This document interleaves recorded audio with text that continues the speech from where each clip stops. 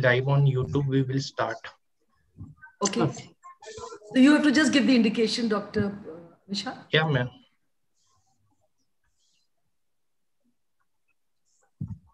Welcome, Dr. Jyoti Bali. Ready to see her.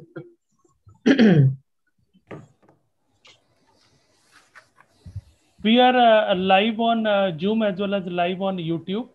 Uh, Okay. This is Ranjit Sahu, Marketing Head of Walter Bushnell. So welcome you all to this uh, live webinar on fetal surveillance, saving the fetus. With this, I hand over the session to Vishal sir to take it forward.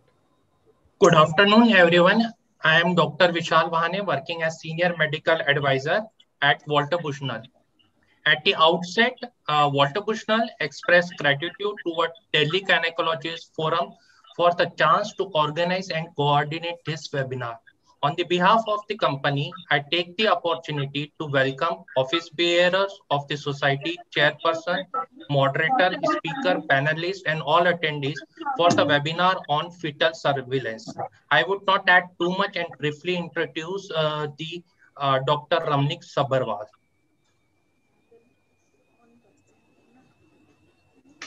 Uh, Madam is the senior gyne- uh, consultant option gynae at uh, Sri Jeevan Hospital and at Fortis La Femme Hospital. She is the present joint secretary of Delhi Gynae Forum Central Delhi.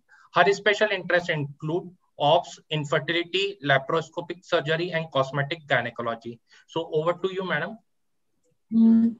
Thank you, Dr. Vishal. Uh, good afternoon, respected seniors and my dear colleagues. On behalf of all the members of DGF Central, I welcome you all to this uh, live webinar on fetal surveillance. Leadership and learning are indispensable to each other. The beautiful thing about learning is that nobody can take it away from you. The more you read and discuss, the more you will learn. I thank Dr. Sharda Jain ma'am for giving us all this platform of Delhi Gynae Forum where we can all interact and share our knowledge. Also, thank you ma'am for joining us today. Ma'am needs no introduction. She is a great teacher, surgeon who has taught for over two decades in medical colleges like PGI Chandigarh and Lady Hardinge Medical College, New Delhi. She is the ethical committee member of Medical Council of India and was given the Teacher of the Teachers Award by the Delhi uh, Forum in 2018. She has rece- received many Lifetime Achievement Awards, and she is also the founder chairman of uh, Pushpanjali Crossley Hospital, which is now Max Vaishali. She is the founder and director of Life Care Center in IVF, which is serving East Delhi for last 27 years for gynae care, IVF, bariatric surgery, advanced laparoscopic and hysteroscopic surgery. She is the founder and secretary uh, general of Delhi Gynecologist Forum, 2000, which was founded in 2000. Thank you, ma'am, for joining us today. And I would uh, request you to say a few words of wisdom for all of us. At outset, my request to you is that, you know, every time you introduce me, just give my name. There's no point, you know, wasting two minutes time of yours for this. Uh, as far as I'm concerned, I can see, you know, this particular chapter always fascinates me. Uh, till now, we had been talking uh, saving the lives of the mother, and now we are very strongly, for the last uh, 10, 15 years, we have started talking uh, saving the lives of the fetus as well. Uh, the time I was trained, you know, and I got my MD, that was 73, 50% deliveries were taking place at home. We've come a long way. It was not surprising at that particular time, you know, the home deliveries, people had problems, but, you know, uh, institutional deliveries, uh, the today's uh, specialists uh, look back uh, to the gurus, you do not have anything, but I think they had a great sense uh, of taking care. And the emphasis that time was on a clinical examination. At that particular time, the antenatal uh, monitoring as for the fetus was concerned, it was indirectly uh, when the weight gain was okay, where the height uh, of the uterus was okay, the girth was all right, and the you know the fetal heart sound. Uh, till now, till the time when we I got trained, you know, we were still using a, stethoscope and the small things uh, fit over a period of time. Things of that particular thing, that small six inches thing has disappeared. You can't even find in the labor rooms. So we've traveled a long, long way. Uh, I remember it uh, uh, that during my uh, late MD time, we found this daily fetal movement count had come uh, in a big way. And then, then the when we were faculty, uh, all this uh, NST, the CST, and everything came biophysical profile. Uh, when I was, I, I delivered, there was no ultrasound at that time. I never had a single ultrasound. So we have come, uh, we have seen, you know, the sea change as far as uh, the um, obstetricians uh, armamentarium have changed. Uh, what I find that, you know, gynecologists have really put a hard work and as for the maternal mortality is concerned, we are in three figures and we have to compare with our uh, small neighboring country, Sri Lanka, which was at the beginning of the 21st century itself was uh, 30 and we are today 100. So leave aside that. I think, you know, in perinatal mortality or morbidity figures also we have come down a long way, but still uh, uh, the Millennium Development Goal, we could not reach that kind of figures. What I want, you know, yesterday also in a telemedicine, there was a discussion about it. People are not clear. One thing is clear that, you know, good percentage of patients are high risk patients. And if you find there's a possibility of this particular ba uh, baby being lost, there's a one high risk factor. When should the antenatal fetal monitoring should start? And to my mind, in my clinic, we started at 32 weeks. But patient has got multiple factors. Like she has got a problem of hypertension, she has got diabetes, you know, more than one risk factors are there. Then we start even early at 28 weeks. I think this particular point should be need to be emphasized by uh, Professor Gujral uh, today that at what time the monitoring should start and what is minimum expected. Now litigations are going against the doctors in, uh, I find uh, from Delhi Medical Council, it has come to National Medical Council. If a single baby is lost, till five years back, it was one crore suing. And now it is five to 10 crores. I wish to tell you that anybody who is pro, uh, baby who's uh, growth retarded, growth retarded fetus, you we need Doppler for us to know that how the child is going to take uh, uh, behave in labor.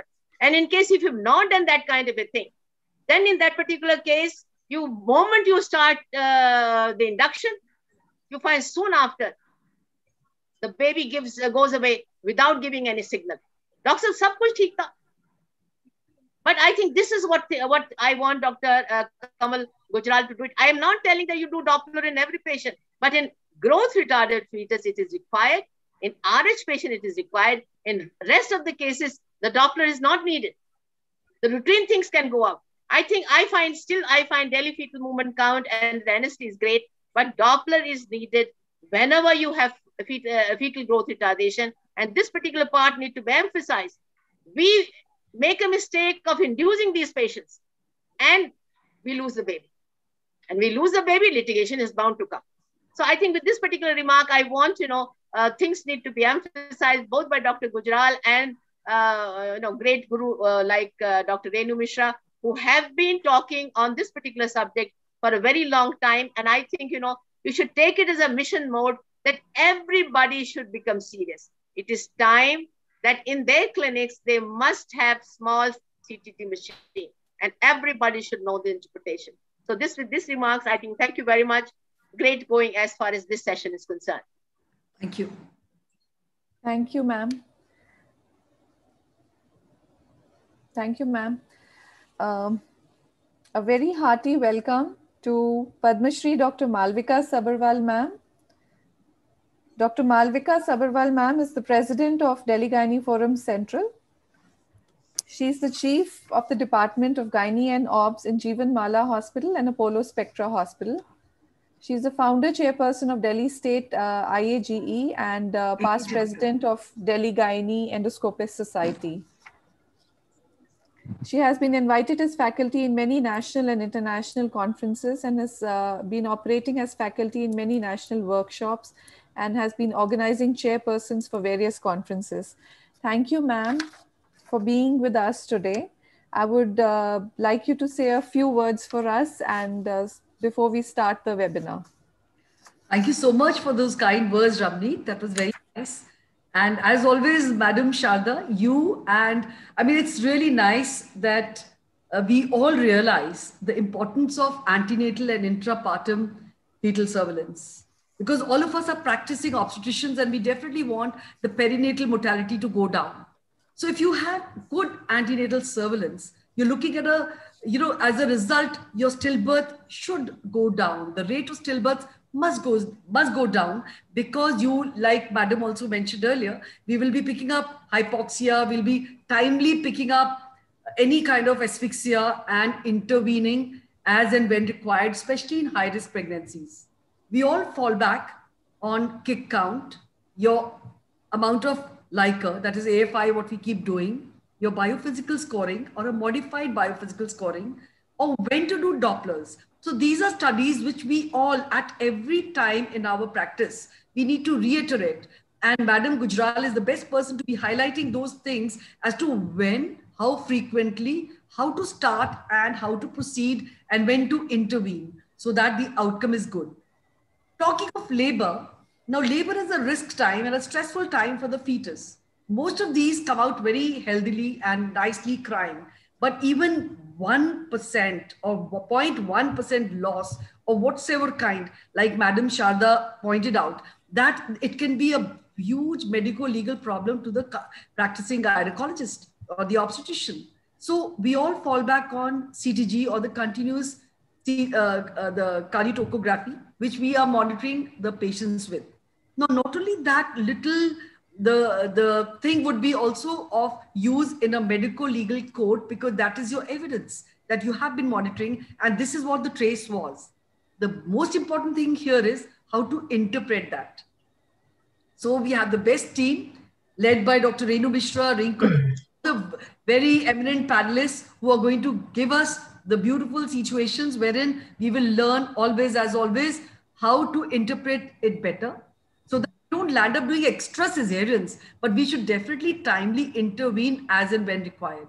So this important webinar, I will not hold back from. We can just straight go ahead, Rami. Thank you very much. Thank you, ma'am. Thank you so much. Now, moving on to our first session of antenatal surveillance, I would like to invite the chairpersons, Dr. Harsha Khullar, ma'am, who is uh, the senior consultant in the Institute of Obs and Gynae in uh, Sir Gangaram Hospital, New Delhi. Uh, she has special interest in oncology. Uh, welcome, Dr. Harsha Khullar, ma'am. And our second uh, chairperson is uh, Dr. Abha Sood, ma'am, who is the HOD of the Department of Obs and Gynae and IVF in Jaipur Golden Hospital in Rohini, New Delhi. And she has been uh, in practice since more than 35 years. I welcome you, ma'am. Uh, now I request Dr. Abha Sood to please introduce our esteemed speaker, Dr. Kanwal Gujral. Uh, thank you, Dr. Ramni. Uh, Professor Dr. Kanwal Gujral, at present HOD and Chairperson, Institute of Obstetrics and Gynecology, Sir Gangaram Hospital, New Delhi, is a renowned clinician, academician, and in-depth knowledgeable person. She has many laurels and decorations to her credit as shown here and high risk pregnancy is her forte. But this is only proverbial tip of the iceberg. She is much deep in knowledge and its execution, which will be evident in the presentation now. So welcome, Dr. Gujral. Introduction, I don't deserve that. Can I have my slides? Yeah, full screen full screen. Uh, well, uh, small time for me to talk on such a huge topic. I, I hope I do justice. Now, why do we need an antepartum surveillance? What is the magnitude of fetal problems? Fetal death after 20 weeks occurs in 1% of pregnancies. 30% of these antepartum deaths are due to asphyxia, 30% uh, due to maternal complication, 50% due to congenital malformation and chromosomal abnormalities, and 5% due to infections. 20% of stillbirths have no cause. 50% of the first trimester spontaneous abortion and 5% of stillborns have chromosome anomalies. Therefore, the surveillance starts right when the patient is tested pregnancy positive. And the components would involve determining the gestational age, six components, screening for aneuploidies, screening for preeclampsia, extremely important, detection of congenital malformation, monitoring of fetal growth, and lastly, detection of severity of acute or chronic fetal hypoxia. Now, coming to uh, gestational age determination, we know known LMP, regular cycles, no OCP, uterine size, UPT positive. I'm not going to waste time on that. This is a slide just for the postgrad, what are excellent, good, and poor dates.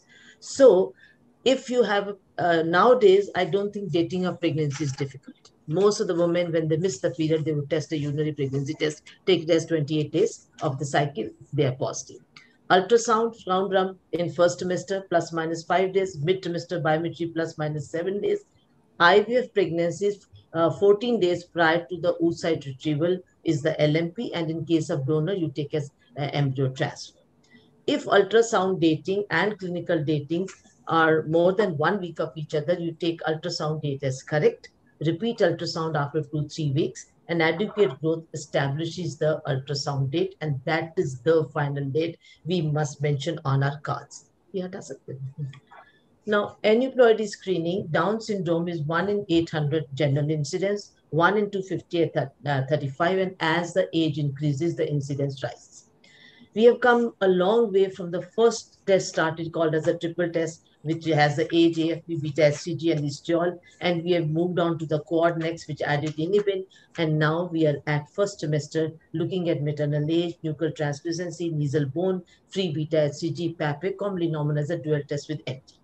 Now, how do we do these tests in clinical practice is by three methods, uh, integrated screen, stepwise, contingent, I'll come to that, and the recent arrival is non-invasive prenatal testing, testing of the fetal chromosome, from eight weeks onwards in maternal blood, an absolutely non-invasive method.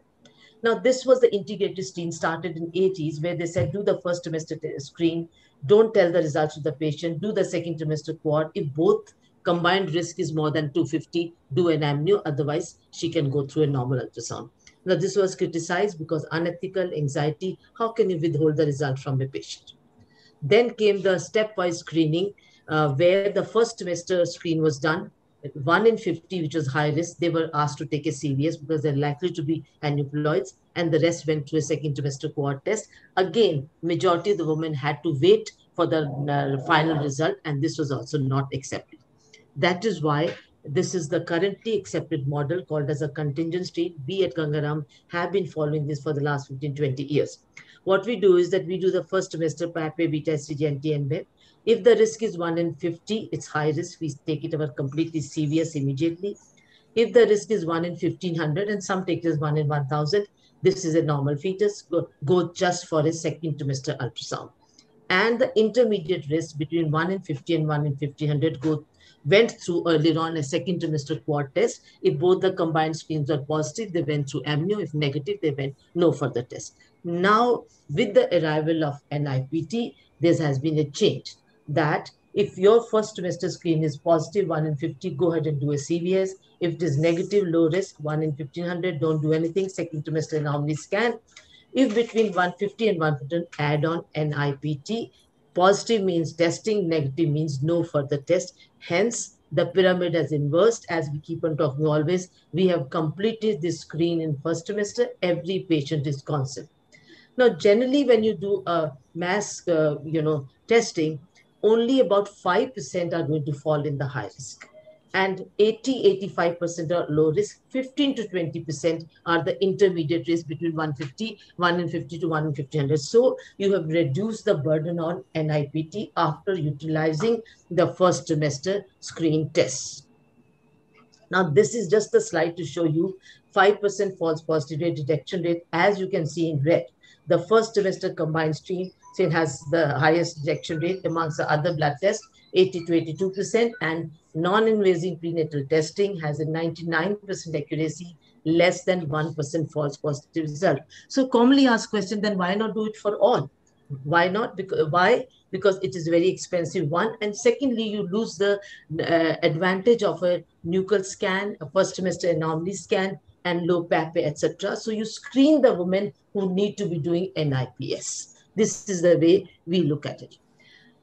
Now, when not to do in NIPT is very important to know. If the woman has got recurrent miscarriages, she has got a family history of genetic disease, ultrasound showing malformation, infused nuchal translucency or nuchal flow, she's bound to have many more abnormalities just rather than just aneuploidies. There could be deletions, etc. So she needs a complete chromosomal analysis by microarray or any method you use. This slide is important to remember not to order NIPT for all. Now, screening for preeclampsia is the second part in first trimester. Why do we need to screen? Incidence is 2 to 8%, 1 in 5 maternal death, four-fold increase in perinatal mortality morbidity, 2 to 4-fold increase of future cardiovascular risk to the mother. And ASPRE trial has shown that 150 milligram of aspirin from 14 weeks onward onwards for women who is at high risk reduces preterm preeclampsia by 78% and reduces term preeclampsia by 62%. So this is an integral part of a fetal surveillance today. So what do we do? Now, NICE guidelines said, look at the high risk factors. I'm not going to read them all. ACOG also said, look at the high risk factor. And those who fall in this high risk, they are the ones to be starting on aspirin. But when you look at the ACOG, there's nulliparity. Parity. That means majority of our women are going to have aspirin, which is not right. So Fetal Medicine Foundation looked at maternal factors, mean arterial pressure, uterine artery, mean uterine PI, placental PIGF, and PAPP-A and a cut of 1 in 100 put the woman at risk and that's the time we should give aspirin prophylaxis. Now this is an online calculator chart. You just have to feed the data available on the net of your patient's characteristic and they will tell you what is your risk and then uh, pick up the women who need aspirin prophylaxis. Now, just to tell you that uh, when you say detection rate, by if you look at only the NICE 40%, if you uh, and as the uh, factors are going to adding more and more markers are going to be added, the detection rate rates improve. Now, this slide just to tell you the best rates are maternal factors, mean arterial pressure, uterine artery, PAPP-A, PIGF, what is given by Fetal Medicine Foundation. Addition of PAPP-A uh, the two yellow, they are same. So if PAPP-A is not added, it doesn't make a difference. If you don't have PIGF, use PAPP-A and the rest of factor. If you don't have PAPP-A, then just use the uterine artery and the maternal factors MAP. Still, you will get some kind of an accuracy. Now, uh, detection of congenital anomalies is the next part of the surveillance. What is the goal? Identify the lethal ones and terminate. Term treatment in utero, the shunts, the transfusions, etc. Plan delivery at an optimal time mode. Consult, prepare the patient fa family for outcomes. The goal today is to detect major anomalies, major ones, lethal ones in first trimester. But it is not realistic that all anomalies can be detected at first trimester. You have to go at an 18-week scan to be absolutely sure of the anomalies. So when your ultrasonologist or fetal medicine specialist reports what should be seen in an anomaly scan, gestational age, fetal heart rate, placenta, cervix, NT, NB, intracranial translucency, ductus venosus, and TR sometimes. This is a must. Can be seen pre pre-maxillary triangle, three vessel cord, CNS, choroid, spine, limb, stomach, urinary bladder, kidneys, orbits, four chamber view, anterior abdominal wall. See, majority of the defects today inverting the pyramid at least can be detected on the first trimester. At least a suspicion can be raised and for a confirmation for at an early anomaly scan, maybe even at 60. Now, when you come to a mid-trimester anomaly scan, incidence of anomalies is 5 to 7%, 2% are major, rest are minor. Accuracy of the scan is up to 90 to 90%. And most visible anomalies can be seen by 20 weeks of menstruation age. Countries where pregnancy termination is restricted, like as it was, should balance between doing the testing for anomalies, doing the invasive testing, and giving a firm opinion. It's also important to remember that all anomalies, some anomalies may evolve in third trimester. What are they? Bowel obstructions, urinary bladder obstruction, ventriculomegaly. So it is not that if a third trimester picks up an anomaly, it has been missed. It may have just occurred in the third trimester. That is how you got to counsel your patients. So in a mid-trimester scan, cardiac activity, fetal number, chorionicity for multiples, fetal age, size, and basic anatomy from head to toe till the digit count, everything must be reported. Placental appearance and location, very important today in the rising previous cesarean section report, and of course, cervical length for prevention of preterm birth. Now, when should we order fetal echo? It is not mandatory for us that we do echo for all unsatisfactory cardiac screen. So what is a satisfactory cardiac screen? Four chamber view, outflow tract, three vessel view, three vessel tracheal view. If the ultrasonologist has reported all 90, 95% of the cardiac defects are there, the rest are minor, you, you can do away with the echo. If you have an abnormal cardiac finding on the ultrasound, you have abnormal extracardiac finding, you have arrhythmia, increased nuchal translucency, twins, IVF conceived, monochorionic T3S, hydroxytalase, certain maternal diseases which put the child at risk of uh, uh, congenital heart defects. Woman has a previous child with congenital heart, or she herself had a congenital heart. These are the definite indications for echo. Should be done for a pediatric echo specialist. That is what I want to emphasize. Now, coming to the uh, component of determination of fetal growth, such a simple test you know, I don't know which year it was given 20 weeks, 20 centimeter, one centimeter per week. But put your hand on your hearts. How many of us have kept an inch tape in our clinics and are measuring as a routine a symphysis height? Dr. Sharda Jain said growth. This is the first step to pick up the growth. So if we are not doing it, please let's, uh, we always teach our students when we take an exam, they have to go with the tape, but Many of us don't keep it inch tape in our clinics to measure the symphysis fundal height. I'm not going into details how to measure. Normograms available, 95th, 50th, and 10th centile. You can plot them if the growth is falling. You refer below the 10th centile or static growth, or it falls below, refer for an ultrasound. Now, important to remember is that sensitivity of picking up a growth is low in this 40 50%. So growth restriction is the major cause of stillbirth. More than 50% of undiagnosed, uh, you know, you get undiagnosed uh, growth restriction when you do the autopsy. So what should we want to do? One ultrasound between 28 and 30 weeks and one ultrasound preferably at 36 weeks picks up early onset growth restriction, tells you to use Dopplers judicially, and also late onset after 34 weeks. I know it is not the norm in practice to recommend three ultrasound, but I don't think there's any harm if you're going to, you know, uh, if you are going to, you are going to pick up a lot of these things. At least I in my practice does one ultrasound after 18 weeks, between 28, 30 and one at 36 weeks, even in a low risk pregnancy, call it over. I don't know, but missing the growth restriction uh, does not, uh, is, you know, goes away with that. Now, last segment, test for fetal hypoxia. When should you start testing? Dr. Sharda said uh, 32 weeks, 28 weeks. I think you have to look at survivals in your nurseries and start testing them. If my nursery is comfortable at 27 weeks, 700 grammer, I think I should start testing at 26 weeks so that an odd stillbirth I advise. But generally 28 weeks is the norm today. So the five components of this are daily fetal movement count, non-stress test, biophysical, modified, and Doppler. Let's come to them. Now, this slide was just to say that fetal movements start at seven weeks, and as the fetus matures, they become more organized, they get a diurnal variation, and look at the average number of movements 200 at 20 weeks, and can be as uh, uh, 282 at 40 weeks. Average is 50 to 950 and can be as low as 4 to 10 in 12 hours less fetal activity in growth cystitis, CNS malformations, etc. So now how do we count? This is a common thing. We practically are doing 10 movements in 12 hours, 9 a.m. 9 p.m. Once she has counted good 12, uh, 10 movements, she can sleep peacefully. Nothing, no harm is going to happen. Various authors have given various movement kick count chart, but I think in practice, uh, uh, these are the count to 10 or if the woman is busy, she's working, she cannot count, then 3 1 hourly. Post breakfast, post lunch, post dinner, 3 1 hourly movement, 3 to 4 in 1 hour makes it 10 to 12. That's all. When you look at the data, loss of fetal movements are commonly followed by disappearance of fetal heart in the next 24 hours. So there is a margin. Most of the women will have less movements if they report within 12 hours or so within 24 hours are not going to have a stillbirth. So I uh, go with Dr. Sharda that this is the most practical uh, thing to counsel our patients. And change in the quality, quantity of movements also be told to the patient. Now, again, most commonly used test, the non-stress test.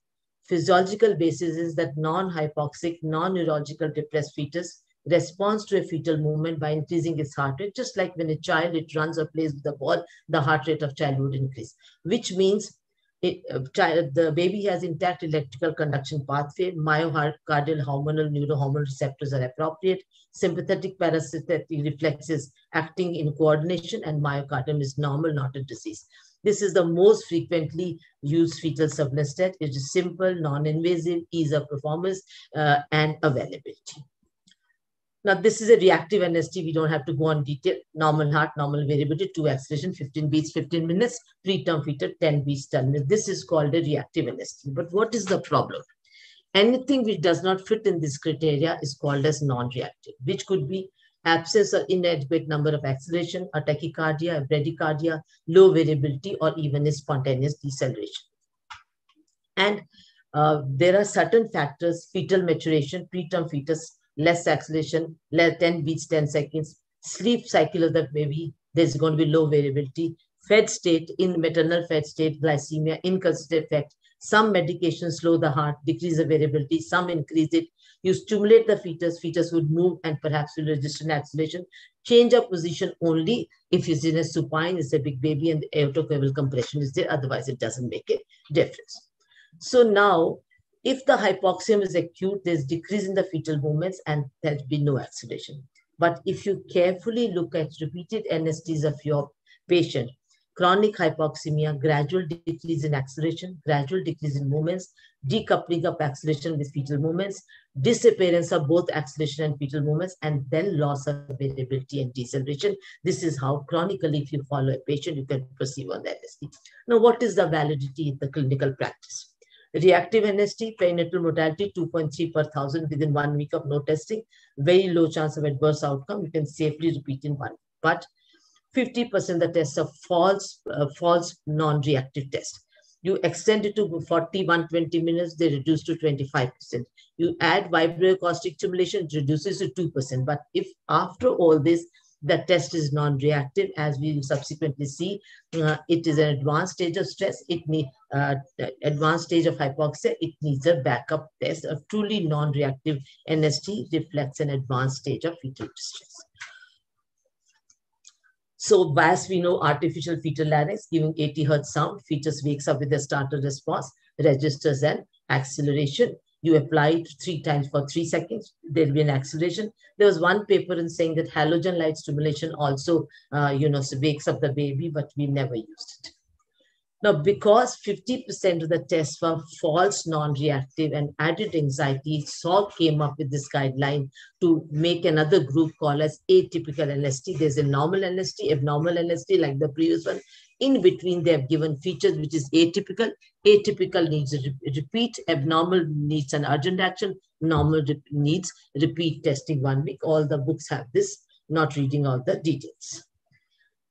Now, newer modification, computerized CTG, uh, which we don't have. This is very nicely predictive of fetal distress, short-term variation, uh, etc., have a strong correlation with acidemia. Now, biophysical profile is a testing modality to evaluate the probability of a given fetus having or not having sufficient delivery of oxygen to select primary or secondary target organs so as to maintain normal function. So what does this mean? That when there's a fetal hypoxemia, there's a CNS dysfunction. Every variable of the fetus is controlled by a particular area of the brain. The cortex is controlled by the uh, tone is controlled by cortex, breathing is at ventral surface of the fourth ventricle, movements are by cortex, and NST by midbrain. midbrain. So if oxygen supply to any one of this area gets affected, decrease, the variable controlled by that area gets affected and is represented as zero or not okay on a biophysical. The oxygen supply gets okay, the variable becomes normal. So frequently you'll have a BPS of 6 by 10 in the morning, after a couple of hours, it's all normal. If the hypoxemia continues, there's a redistribution of more blood to the brain, adrenals, heart, less to the kidney, and hence less liquor. That is a chronic chronic depictor of biophysical score. It's a marker of acute and chronic both. That is the advantage. So this is how uh, you uh, interpret uh, amniotic fluid, the chronic one, NST, fetal tone, gross body movements, feeding movement, two for all. There's no one and zero if they are not adequate. Now, if the biophysical is 10, it's a very important slide, 10 on 10 biophysical and 8 on 10, but amniotic fluid is normal, the perinatal loss is 1 per 1000. With NST, it was 2.3 per 1000. If it is 8 by 10, score may be the same, but uh, the fluid is abnormal, the minus 2 is for abnormal fluid, low liquor, then the, it rises to 89 per thousand. 6 on 10 normal fluid variable, 6 on 10 abnormal fluid, again 89 per thousand, which means to say that amniotic fluid is an extremely important component of uh, biophysical score because it depicts chronic hypoxia. But at a zero biophysical score, 6 on 10, uh, 10 babies will die, 4 will be still alive. So to determine the amniotic fluid, uh, four quadrant assessment, dividing it sum total longitudinal was called as the amniotic fluid index. And these are the values 8 to 18 normal, less than 5 and less is the so-called oligo, low is between 5.1 and 8, more than 18 high. Now, maximum vertical pocket has become recently more popular normal is more than two centimeter, oligo is less than one centimeter, because if you compare the MVP with amniotic fluid index, amniotic fluid index over predicts oligoamnios, eh, you know, increases surveillance. Therefore, this, and when you see a low amniotic fluid index, please look at the maximum vertical pocket. And if that is okay, you can still hold on. If both are not okay, then, then you need to take an action. Multiple, especially you need to uh, monitor on a maximum vertical pocket.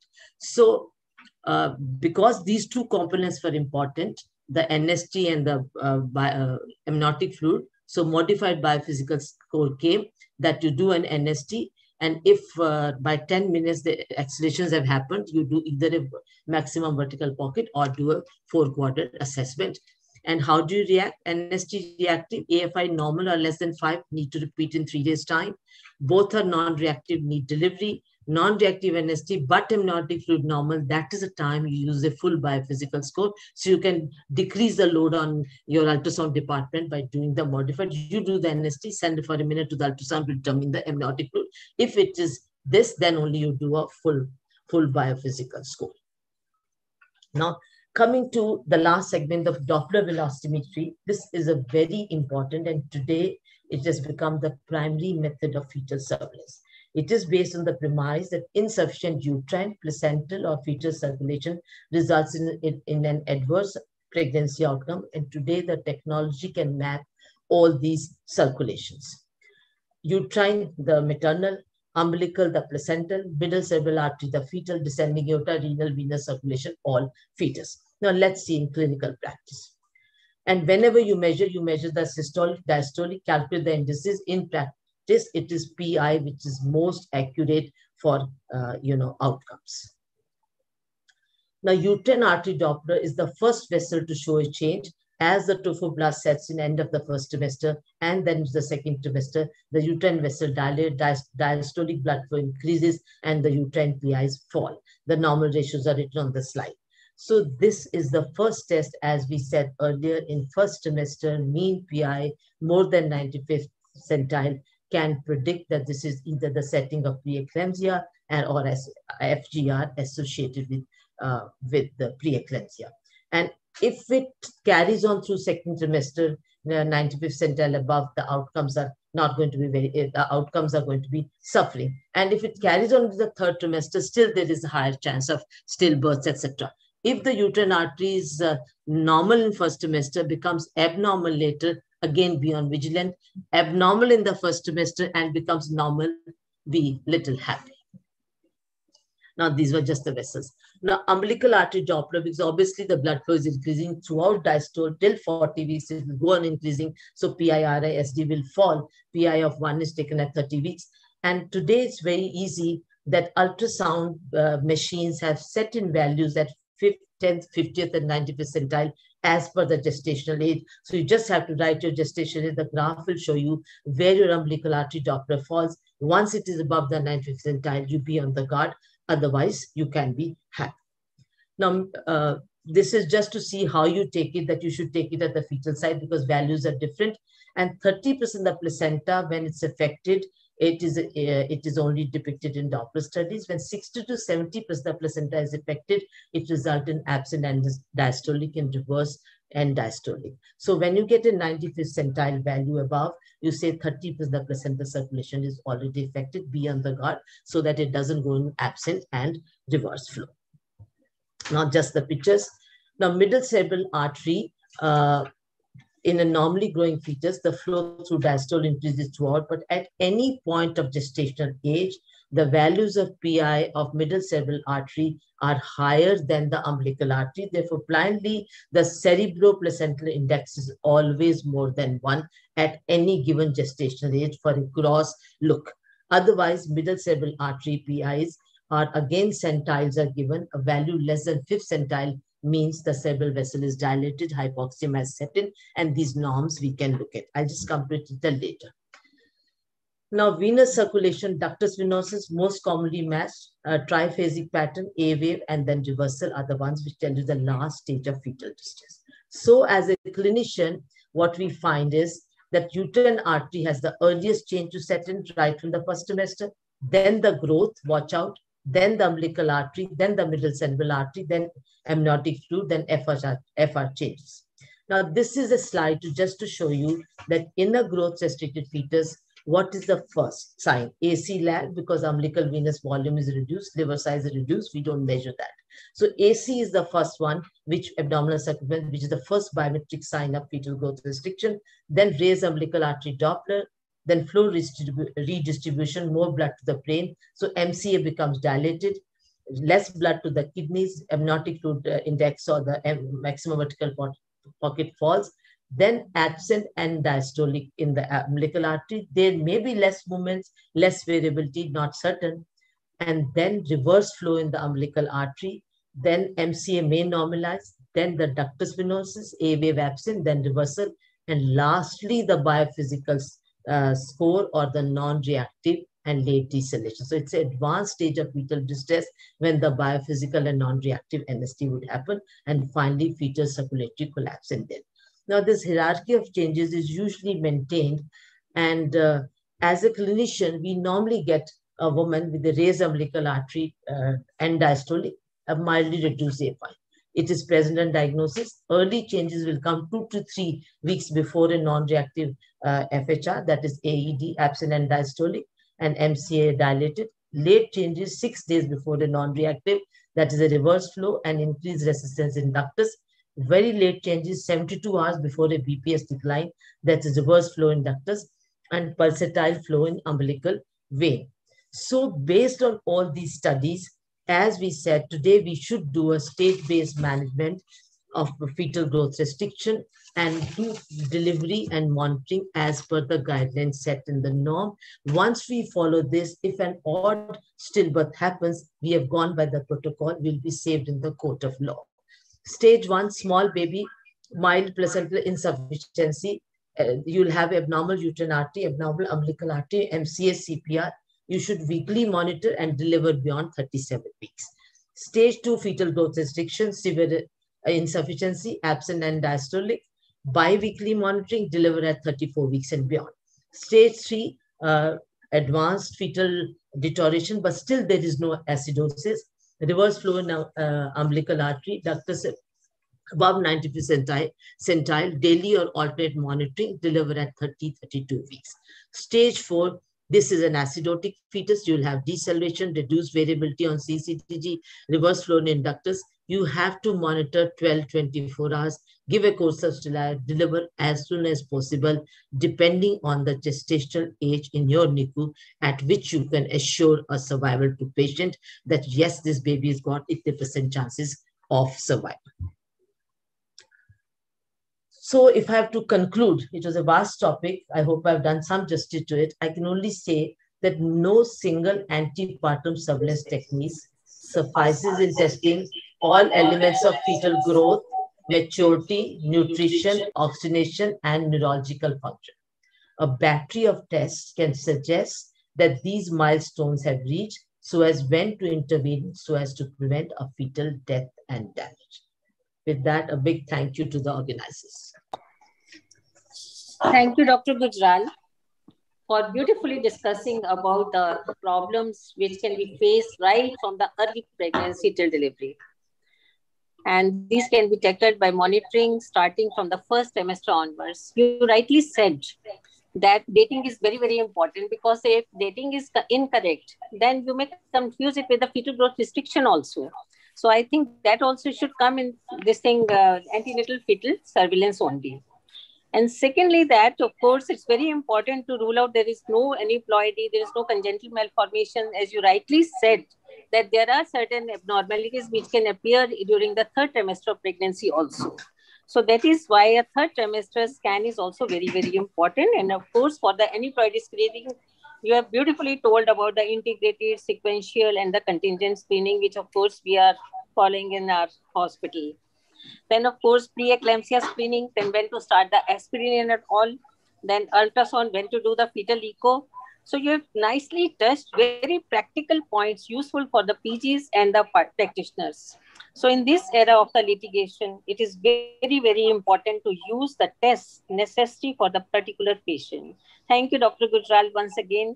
And I congratulate you for beautifully discussing in a very, very simplified way. And I think we have understood very well. Thank you so much, Dr. Gujral.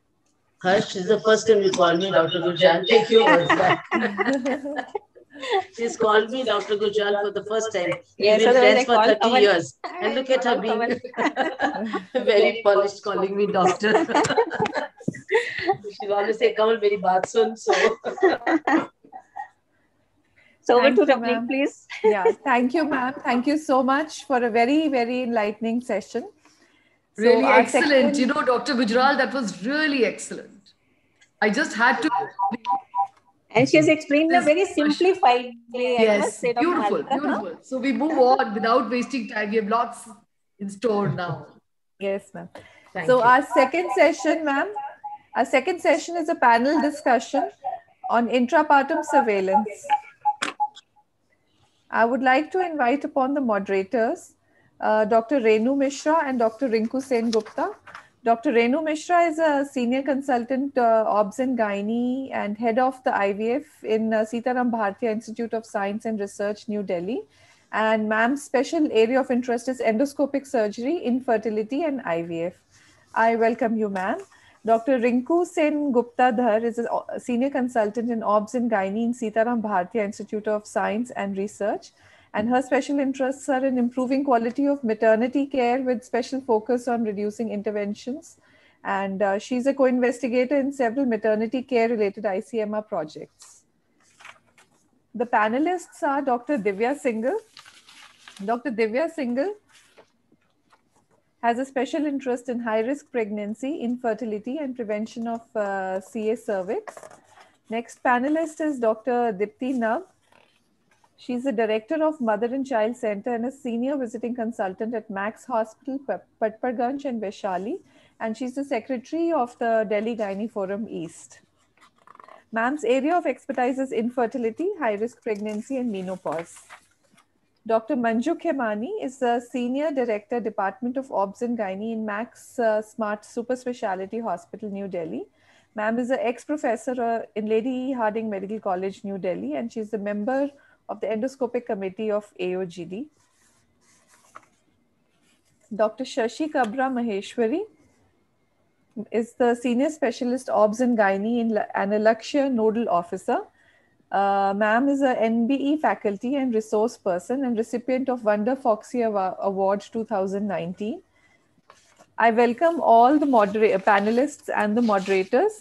And uh, with this, we would start the session of intrapartum surveillance. Can I share my screen?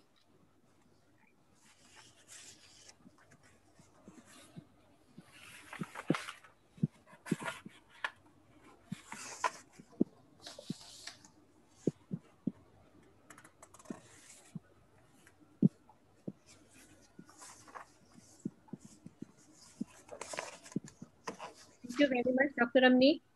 Um, at the outset, I would like to express my sincere gratitude to Dr. Sharda Jain ma'am for including me on this platform and to my dear Malvika for letting me speak on what I love to speak on. So CTG has been a very old passion In fact, I wrote a book when I was in Abu, Abu Dhabi for a couple of years because uh, in AIIMS, we used to take like 10 minutes, 15 minute trips because we didn't want to run out of paper. And there, you know, it was kilometers or miles and miles of CTG flowing out. And I thought, you know, it's a shame, you know, such rich treasure should be used for teaching and training. But to be honest, my interest in CTG started way back when I was a junior resident.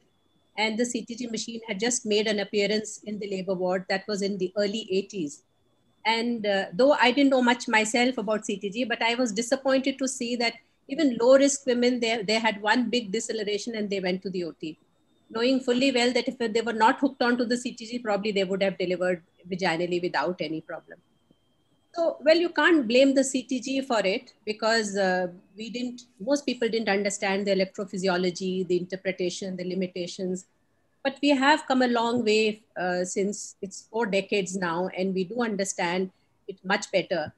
We do understand the limitations. Um, but for this reason, we must have a continuous training for our nurses and our doctors because it's something you have to sort of update yourself day in and out because we are taking decisions on a daily basis. And uh, we also need to understand that though, I mean, with all the uh, limitations of CTG, it is also true that we don't have a better tool as of now to monitor the fetal well-being in utero. So like it or not, you can't do away with CTG. You need to use CTG, but we must use it judiciously as an ancillary to our clinical judgment and not as a replacement. So with these words, um, I'm going to disappoint a little bit to my panelists that I'm going to speak a little bit uh, on intrapartum surveillance to revise the normal and abnormal fetal heart rate patterns for our younger colleagues. Respect, uh, requesting the senior colleagues to bear with me. Manjudi, please, Maria Gane. I'm going to. Dr. Manju was my senior resident when I was junior resident. So I need to take permission. Okay, so um, a little bit about intrapartum surveillance. So we know that when we're talking about monitoring, we have to monitor the mother and the baby. But since the focus of today's webinar is saving the fetus, I'm going to be uh, concentrating on the fetus. So the first question is, why do we need to monitor the fetus during labor? We're talking about intrapartum monitoring now, because we know that when the uterus contracts, temporarily the blood supply to the baby is interrupted it is of no consequence when we are looking at a healthy, well-grown baby, but a baby which is already on the verge or it has a borderline oxygen reserve like a growth restricted baby may actually become overtly hypoxic during these contractions. 40 to 60% of stillbirths have hypoxic etiology and also 10% of cases of cerebral palsy are accounted by intrapartum hypoxia. So keeping that in mind, what is the goal of, what is the problem? What is the goal of intrapartum monitoring? Is to try and detect changes in fetal heart rate patterns because that is how we can access the baby. Um, suggestive fetal hypoxia and intervene timely so that we can prevent morbidity because of hypoxia or fetal death. But at the same time, we need to remember that the, the obstetric interventions should not go unrealistically high, like I said, you know, just on some CTG patterns. And we also need to understand that there is no fetal surveillance method, as also Dr. Gujral emphasized, which will provide 100% detection of fetal compromise. The methods of intrapartum fetal monitoring, well, we've got the age-old intermittent auscultation, which is still in, it is not outdated. In fact, it is recommended that low-risk women should still be used, we should be using either a stethoscope or a handheld Doppler, and uh, we should auscultate at the end of contraction. And in high risk, if you do have a CTG, then we should be, it is preferred that we use electronic fetal monitoring because you can get a trace and it which you can document if there are any changes. What is more important is that it is not enough just to attach a CTG, but if uh, there's somebody not supervising the CTG, then, then the purpose is defeated. So just as we do the intermittent auscultation, somebody should be looking at the CTG every 15 to 30 minutes in first stage and every five minutes, or sometimes if there are changes, then after every contraction in second stage. Indications of CTG, I will not go into this detail. I'm sure everybody is aware of this. Any factors in antepartum period which are suggestive of uh, or where baby may be more prone to develop hypoxia during labor like growth restriction, and bleeding, meconium, hypertension, all these problems or delay in labor would actually uh, warrant that we should go on to continuous CTG monitoring. The components of CTG, there are basically four components, the baseline fetal heart rate, normal is 110 to 160, baseline variability, which is 5 to 25 accelerations and decelerations. All four components must be evaluated. Presence of acceleration is reassuring. However, if the accelerations are not there, but otherwise the CTG is normal, there's nothing to worry about. And not all decelerations are necessarily ominous. What can be the abnormal fetal heart rate uh, components or patterns?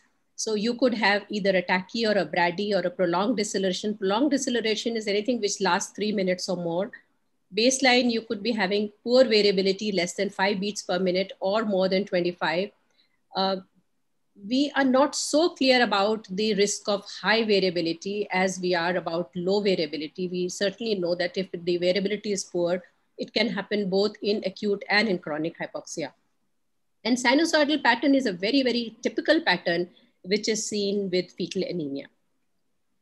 Decelerations, of course, we all know we can have late decelerations, variable decelerations, and early decelerations, though early decelerations are not considered abnormal. I think the, the only um, uh, sort of rider to this statement would be that if you're getting early deceleration in first stage when the head is not negotiated, sometimes it may show CPD because the head is trying to negotiate, but because of CPD, the head cannot enter. So, so the baby is like sort of uh, pushing against a wall and you get early deceleration. Early deceleration are usually because of head compression. So tachycardia, you can have maternal and fetal reasons. So maternal in labor, dehydration, common, and uh, fetal, of course, we know prematurity uh, is a common reason. We have the uh, uh, muted, please. Okay. So this is uh, CTG showing fetal tachycardia. You can see that the baseline, if you can appreciate, is somewhere around 170 to 180 here. But I would say this is uncomplicated fetal tachycardia. You can see that the maternal pulse is 118. So it's basically reflection of the maternal pulse and it is because the mother is having some temperature. But the good thing is that apart from the baseline increase in heart rate, the, it's a nicely variable, good baseline variability, accelerations, no decelerations. So such um, a pattern is usually not much of worry if patient's dehydrated, give her some fluid. If she's having temperature, give her some paracetamol and you will get back a normal heart rate. This kind of tachycardia is ominous. This was a patient who was 32 weeks pregnant, came with some bleeding and pain abdomen. She was not in labor, uterus was irritable. And on CTG, we could see some unprovoked decelerations. So she was taken for a cesarean. There was placental abruption and baby was saved and baby was fine. So, so, so this is because now you have got abnormal features like poor variability as well as decelerations which are unprovoked. So that makes the tachycardia complicated. Bradycardia or prolonged deceleration, we are generally more worried about bradycardia than tachycardia. You could have it because of several problems uh, with the mother, with posture, vomiting, anything which has vagal stimulation, or if there's hypotension, which can occur after giving a epidural for analgesia, hyperstimulation if you're giving oxytocics and not monitoring. The fetal uh, end, the most uh, we are worried about mostly whether the baby is hypoxic or having asphyxia. So showing you some uh, patterns of prolonged deceleration. Like this one, you see this is almost like one, two, three, four, five minutes. So it is a prolonged deceleration but it is simply because of supine hypotension because as soon as the patient is turned on or left lateral, that's all that is done and the, the fetal heart rate is nicely variable and comes back to its normal heart rate. This is a CTG um, when patient is vomiting, you can see there is the abdomen is also showing hypertonus, the abdominal belt. Well, this is possible only if you have a fetal scalp electrode because if a patient is vomiting with an abdominal electrode, it will usually move away and not show much recording. So anything which stimulates the vagus can actually cause bradycardia. Prolonged deceleration because of tachysystole. So if you see that contractions here uh, basically there's like a hypertonus because as important as it is to get uterine contractions, it is also equally important that there should be a phase where the the uterus um, relaxes completely because that is the time when the fetus is going to get its blood supply. So we do need to accelerate uh, contractions to get uh, the cervix opening up, but then we, we may, must make sure that there is an, an intervening period of relaxation and the baby is well oxygenated. So as soon as the usual um, action would be to, if she is on syntocinon, reduce syntocinon or switch off syntocinon. If she is not on oxytocic, you could give terbutaline, or even if it, after stopping syntocinon, if the contractions are more, then you could give terbutaline subcutaneous or intravenous to get back the uh, uterine contractions to a more sane sort of status. This, this patient, this was a very sad story this was one of the patients I had in Abu Dhabi. She was a, a previous cesarean section, young girl, 25 years old. And uh, she was, she came with my sort of pain abdomen, just irritable uterus, not in labor. And uh, since she was for VBAC, we actually left her. She was there in the labor ward more than 24 hours, you know, just doing intermittent monitoring because we wanted her to go into labor herself. But then after 24 hours, we thought, well, she's not, the contractions are not increasing. Let's start some Synto and see, you know, whether she progresses. And while we were actually thinking to start Synto, we had not even started Synto. Uh, the CTG was just put up so that we will start oxytocin and there was a huge, big deceleration. In fact, the, the, the baby's heart rate dropped to 60, 70 and it never picked up. Patients was, was literally wheeled into the OT, which was next door and the baby was take out, taken out ASAP, but we could not revive the baby. There was no abruption, there was no rupture, there was no cord around neck, there was, there was nothing to explain uh, why the baby had this bradycardia and baby died. For baseline variability, like I said, um, you know, you can sometimes see it even when the patient comes in early labor in cases where there's chronic hypoxia during active labor, if you have phases of poor baseline variability, which then pick up and the baseline variability becomes normal, then there is not much to it really, not very significant. But if this continues, then of course it is important and we need to make sure that the baby is not hypoxic. Can I interrupt for a minute here? Yes. Yes. Just on the same point which you're saying. Yeah. So when a patient comes to the labor room and sisters are doing the NST, the moment they see the decreased variability, they start the But this uh, uh, phase, you know, when there's a decreased variability during labor and then it becomes normal, it's a normal phase. That should be emphasized. It does not require any intervention absolutely. That is what i'm saying. That if the poor because baby has its sleep wake cycles. Baby has this activity low low activity and high activity. So that also is manifested as baseline variability. So a short span of poor baseline variability followed by a good variability does not have any significant and we do not need to do anything. No interventions please. But this patient was very interesting because this was actually not because of hypoxia this patient had a CTG like this in antepartum. She was, uh, and then it remained so during the intrapartum period.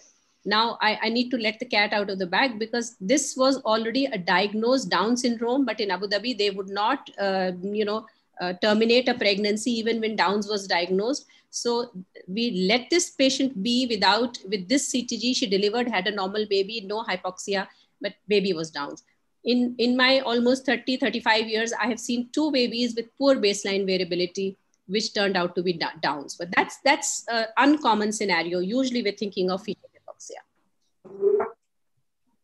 This was another interesting patient. So this is sinusoidal pattern, which we say that uh, the baseline is like a sine wave.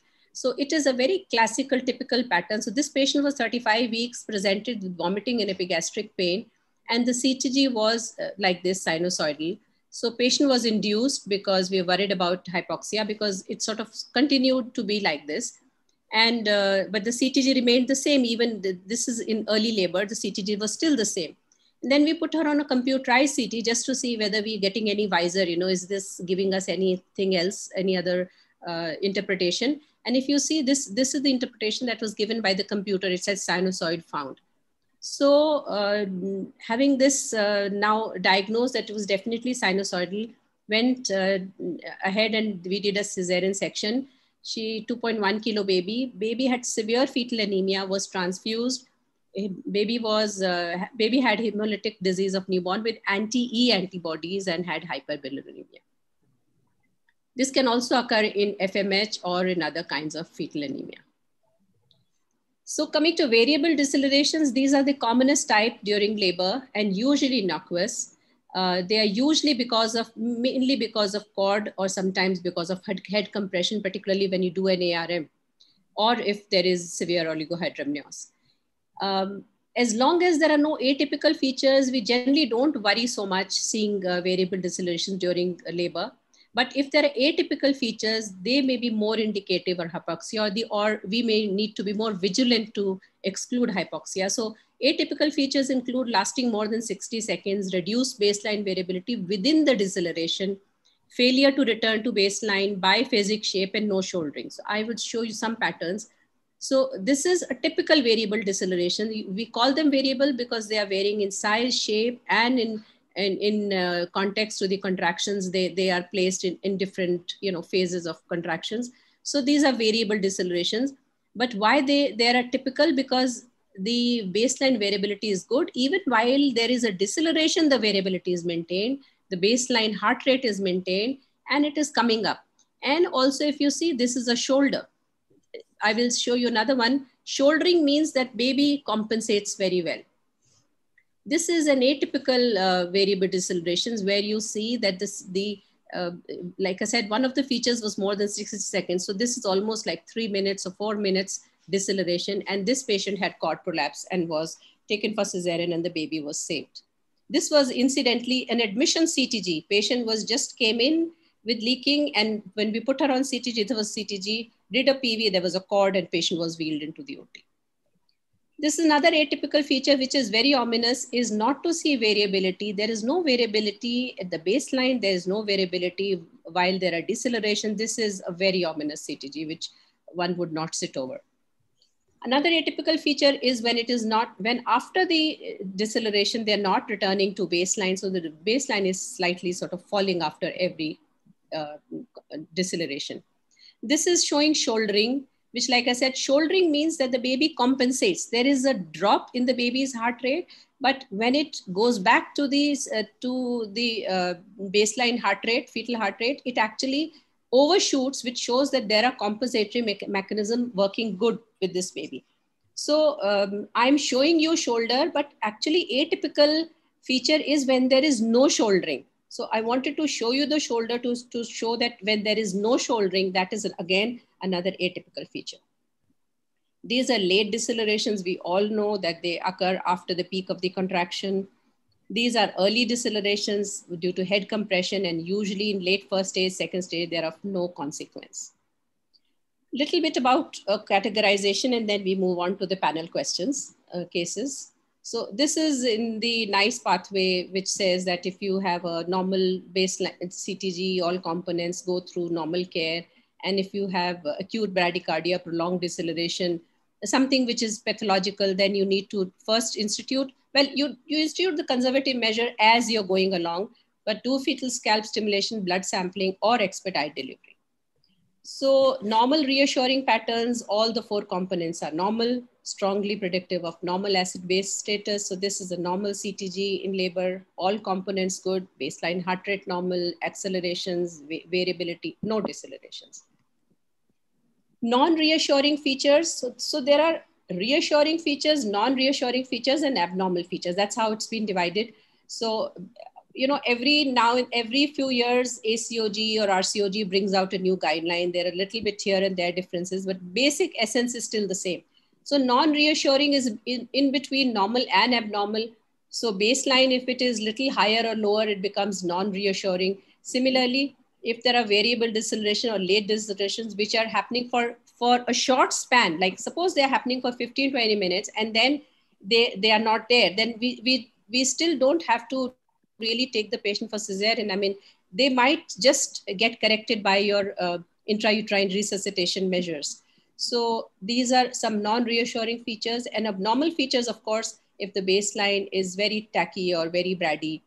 And uh, if the variability continues to be poor after 90 minutes, and if variable uh, atypical decelerations or late decelerations continue beyond half an hour, or there is acute bradycardia or a single prolonged deceleration, that is what we are most scared of. That's probably the. so, uh, pathological or abnormal CTG is when you have one abnormal feature or two non reassuring features. So, we've just discussed this review clinical condition, institute intrauterine resuscitation, confirm fetal well being, and if you're still worried, expedite delivery. So what can we do for resuscitation? The most important is change position to relieve supine hypotension. Turn her left lateral or whatever position she wants to be, but she needs to be moved off her back. The latest guidelines now do not recommend that, like we used to say, give fast fluid to everybody. They say only if there is hypotension, give fluids. Otherwise, it does not do any good.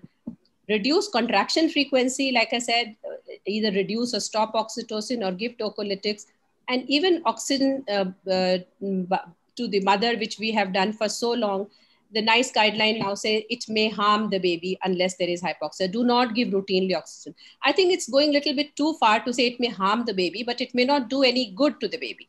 So, uh, well, I mean, it, it, doesn't do much good. We all have nowadays pulse oximeters. If the SpO2 is low, maybe you're more uh, sort of, uh, you should be giving her oxygen.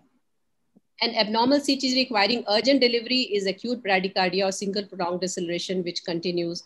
So this usually, uh, these are acute events like cord prolapse, rupture uterus, abruption. So we need to expedite delivery. And uh, if your intrauterine resuscitation brings, you know, all these abnormal features back to normal, then of course you can still leave the patient. Otherwise, you need to deliver the patient, particularly if this bradycardia persists for nine minutes within this time, we must have prepared for delivery. And if she persists, we must take the baby out ASAP. And nowadays, we recommend that paired umbilical artery and vein samples should be taken uh, to corroborate whether there was fetal distress and also for medical legal reasons. Best would be to do it in all, but otherwise, wherever you think that the baby could be having a poor APGAR, it is a good idea to take do this. So uh, the final slide is that CTG must be inspected every 15 to 30 minutes. Contractions must be documented. That's one thing, you know, most people, a lot of people actually even for intrapartum CTG do not put the contraction belt or they do not take care of the contraction belt. And then you cannot actually say these are early decelerations or variable deceleration or, or late deceleration. And you simply see deceleration and you start getting worried. So we have to have contraction belt interpret CTG in the light of clinical situation. Like I said, you cannot just treat a CTG. You have to see the clinical high risk factors sometimes you cannot categorize a CTG. So that is what I wanted to say to the panelists also. There's nothing right and wrong. We do this every day, yet we only come to know retrospectively that this decision was right or wrong. So it is very easy to be wise retrospectively. And um, people will say, Maine kaha tha na, cesarean kar dena. So that, you know, but uh, but it is a good idea to take opinion from a colleague, senior, junior, whoever is there you know sometimes when you're not able to decide whether the ctg is good bad whether it needs active intervention. And do not forget to date and time the ctg with your signature which makes it a medical legal document. So i would now um, stop sharing this and i will share the ctg cases. Rinku are you there? Yes, yes, ma'am, I'm there. Can you hear me? Yes, yes, I can hear you loud and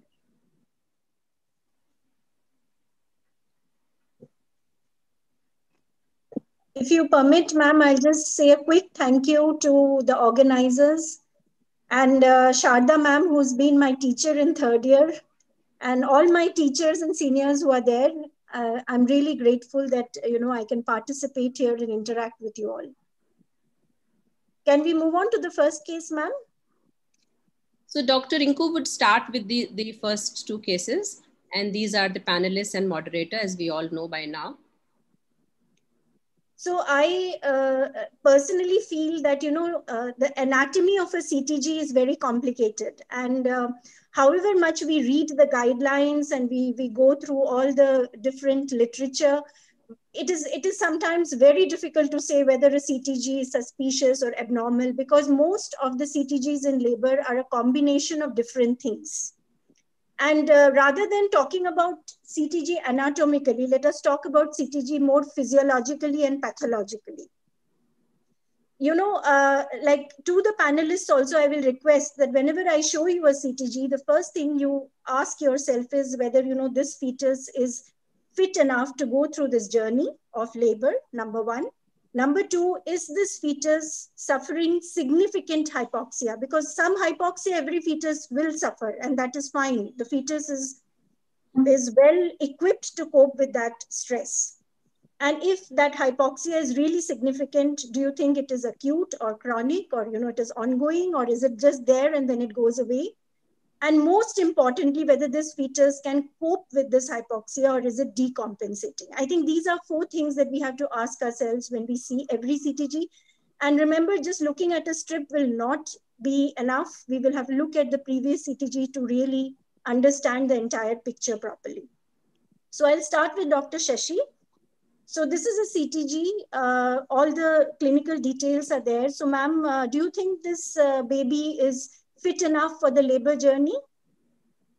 Hello, Dr. Shashi, are you there? Yeah, I'm there. Uh, yes. Am I audible? Yes, you are. Uh, so you yeah. think fetus is fit enough? Yes, uh, in this CTG, what I'm seeing is that, uh, see, we have to focus on the four important points. First is uh, baseline rate, then variability, then acceleration, and then deceleration. So if we look at the baseline rate, it is between 140 to 160 almost it is going and uh, seems to be normal. And uh, then You want to you want to uh, talk about the contractions? How many contractions in 10 Yeah. minutes, ma'am? yeah, there are contractions. Three contractions in Yeah, 10 there, minutes. yeah, there are three contractions uh, in uh, 10 minutes. Yeah, there are three contractions. Yes, ma'am. So do you think anything is uh, missing in this CTG, ma'am? Is there any any information that you would like to have here? Yeah, I would have there? liked to know two things. One thing is whether this patient had any high risk, why she was subjected to CTG, or there was any problem on intermittent auscultation.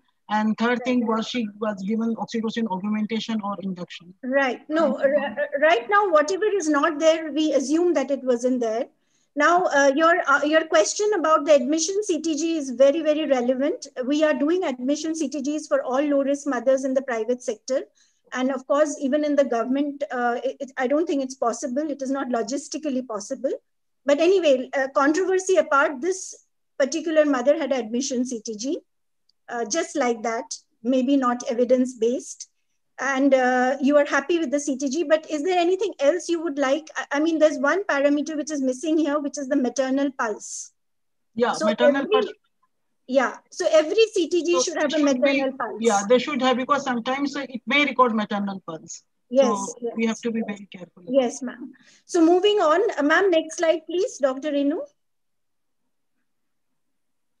So uh, after, I think, uh, maybe six hours or so, uh, ARM was done uh, and MSL grade one was found. And then somebody started oxytocin almost immediately. So what are your comments on the CTG, Dr. Shashi? What would you say? Uh, you know, uh, ARM was done and then then what happens on the CTG? Would you like to describe it? Yeah. After ARM, what I can see is that there is a slight deceleration. Yes, yes. Would you like And to describe?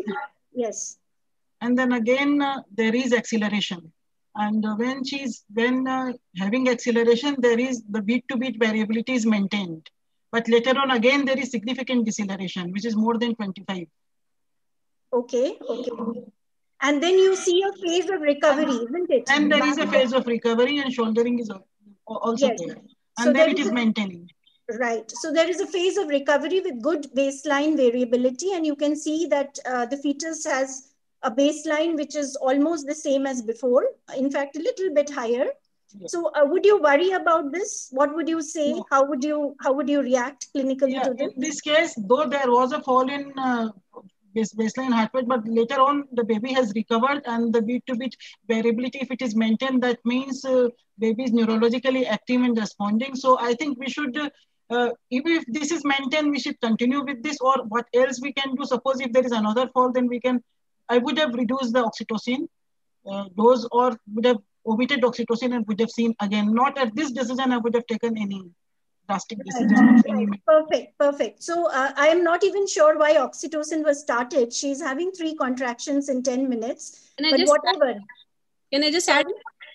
Yes, ma'am. Yes, of course. That you know there are uh, in literature there are studies where people have shown that uh, after ARM, definitely the fetal heart abnormal fet fetal heart rate patterns are commoner. There was a large study where they showed that almost 40% had decelerations after ARM, but they did not lead to any deleterious effect on the final outcome. That means they did not actually lead to more cesarean sections, but, but it is just commoner after ARM.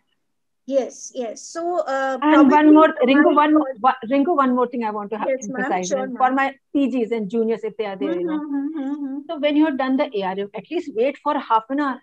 Mm -hmm. contraction. Why should you start syntocinon immediately? That's what I yes, do. Yes, so uh, I fully agree. And uh, even the RCOG guidelines, whenever they start uh, ARM, they say you wait for two hours before you start oxytocin. So I'm also not sure about the oxytocin bit. But like ma'am said that after ARM or after a PV examination, you know, sometimes these changes can happen because of mild cord compression. And mostly there is nothing to worry. Next slide, please. Another thing I would like to say that mm -hmm. I do agree that oxytocin was not required, but it was only one milliunit per minute. Yeah. So the Yes. dose was very low. low. Yes, yes, yes. Next, please, ma'am. Yes. So uh, now we have a CTG, um, which is showing a different kind of a pattern here. So I think I'll move on to Dr. Divya. Dr. Divya, are you there? yeah, she's there. Dr. Divya, unmute yourself. Yes. Yes, uh, uh, Dr. Rinku, I'm here. Thank Hi, you. hi, Dr. Divya. So Dr. Divya, the, the CTG has uh, is now shown on the main screen. Uh, what are your comments? So is it of the same patient? Yes, same patient. The CTG is continuing, and now it is the next phase. And All it is right. almost immediate. I mean, uh, I don't think there is much gap here. So I, I will show you the last one. Last one was six o'clock, and this is nine thirty. Yeah. So, uh, well, we have um the contractions are still within normal limits. We have three contractions in a in the period of 10 min, uh, minutes. Then coming to the baseline heart rate, the baseline heart rate is still within normal limits. And then we come to the uh, beat to beat variability, which is also normal. And then we come to the decelerations. Now the decelerations are uh, uh, early, early decelerations, I would say, mm-hmm. and a slightly variable. Mm-hmm. So mm-hmm. these are yeah. Hello. Your audio is gone. Dr. Divya? Maybe somebody else can take on. take- Dr. Deepti? Yes, Dr. Deepti, yes. you want to comment? Yes. So, uh, like Dr. Divya mentioned, that there are decelerations, and if you if I look at the decelerations, they are beginning with the contractions. They are sharp decelerations. They are like V-shaped. They are Right. they are uh, trending down and coming up is sharp. And uh, once they are coming up, there is a mild shouldering. So I would take that as a normal. Um, though I'm a bit concerned, so perhaps uh, Dr. Inu ma'am will tell me, ma'am, as the wave is going up in the decel- uh, deceleration, there is no variability. That's a sharp straight line. So will that be considered? That's the shoulder. Yeah. Okay. So so variability is good. Variability in between is fine. Yes, Fine. So- variability is good. And the baseline heart rate is being maintained. And these are early decelerations they are sharp ones v shaped so i would take that as a normal thing. Maybe the patient now that she's in six centimeters so she's progressing. And i will still like to wait and not panic. Yes, so great. So here uh, we have a CTG where I wouldn't really, uh, you know, try and always label a CTG as a early, late, or variable. What is really important for me here is that are these decelerations omnious or not? no they are So not they- omnious They are they are quickly falling and quickly picking up. The most Yes. important thing is that they're recovering very fast, and that is very important. And it is great that they are not staying beyond the contraction. The variability is good and the baseline is good. These two things tell me that this baby is compensating for that transient hypoxia that is happening. So probably I don't need to worry. The good thing about the CTG is that the maternal pulse is clearly visible. So I know that this is a right uh, calculation of the fetal heart. And uh, I am not very happy with the contractions. I could, you know, it's probably five to six in 10 minutes on the border. So we need to see if the CTG is like, if this oxytocin is still on, we could reduce the dose or even stop it, like Dr. Shashi just said. But uh, I would be okay because it is just five and 10 minutes, but then we can watch further and see what is happening. Next, please. If you if you see contractions one, two, three, three and a half times, is that is that too much? You think? Five, five in ten minutes because I I calculated yeah, five. Yes, five, five in ten minutes. I agree. Yeah, five in ten minutes. So it, it's just on the border. It's on the border. We could watch and see. But because this mother is uh, this fetus is also having variable decelerations, we could we could do with a little bit of less contractions, and she would yes. progress. Yeah. Next next slide, please. That there is good relaxation between. Yes. Uh, so uh, now it is 12:30 p.m. and uh, the CTG is looking like this now. Uh, I, I am not so sure about the in-between CTG, but I'm assuming that it is reassuring enough for us to wait. Now, uh, looking at this CTG, Dr. Um, Dr. Ma Khemani, Ma Dr. Manju ma'am, uh, you want to take this? What What are your comments on the CTG? So uh, uh, previously she was at nine, six uh, six o'clock. She was uh, uh, six centimeter. Or nine o'clock she was six centimeters. Nine thirty. Non-progressive. Now it is after three hours she is eight centimeter. Okay, so she is dilating little slow. Her maternal pulse has gone up. Right, she's having tachycardia, and if I see the contractions one, two, three, four, five, she has still five contractions, and yes, they are decelerations are there and if I see the baseline, I think the baseline has reduced a little bit.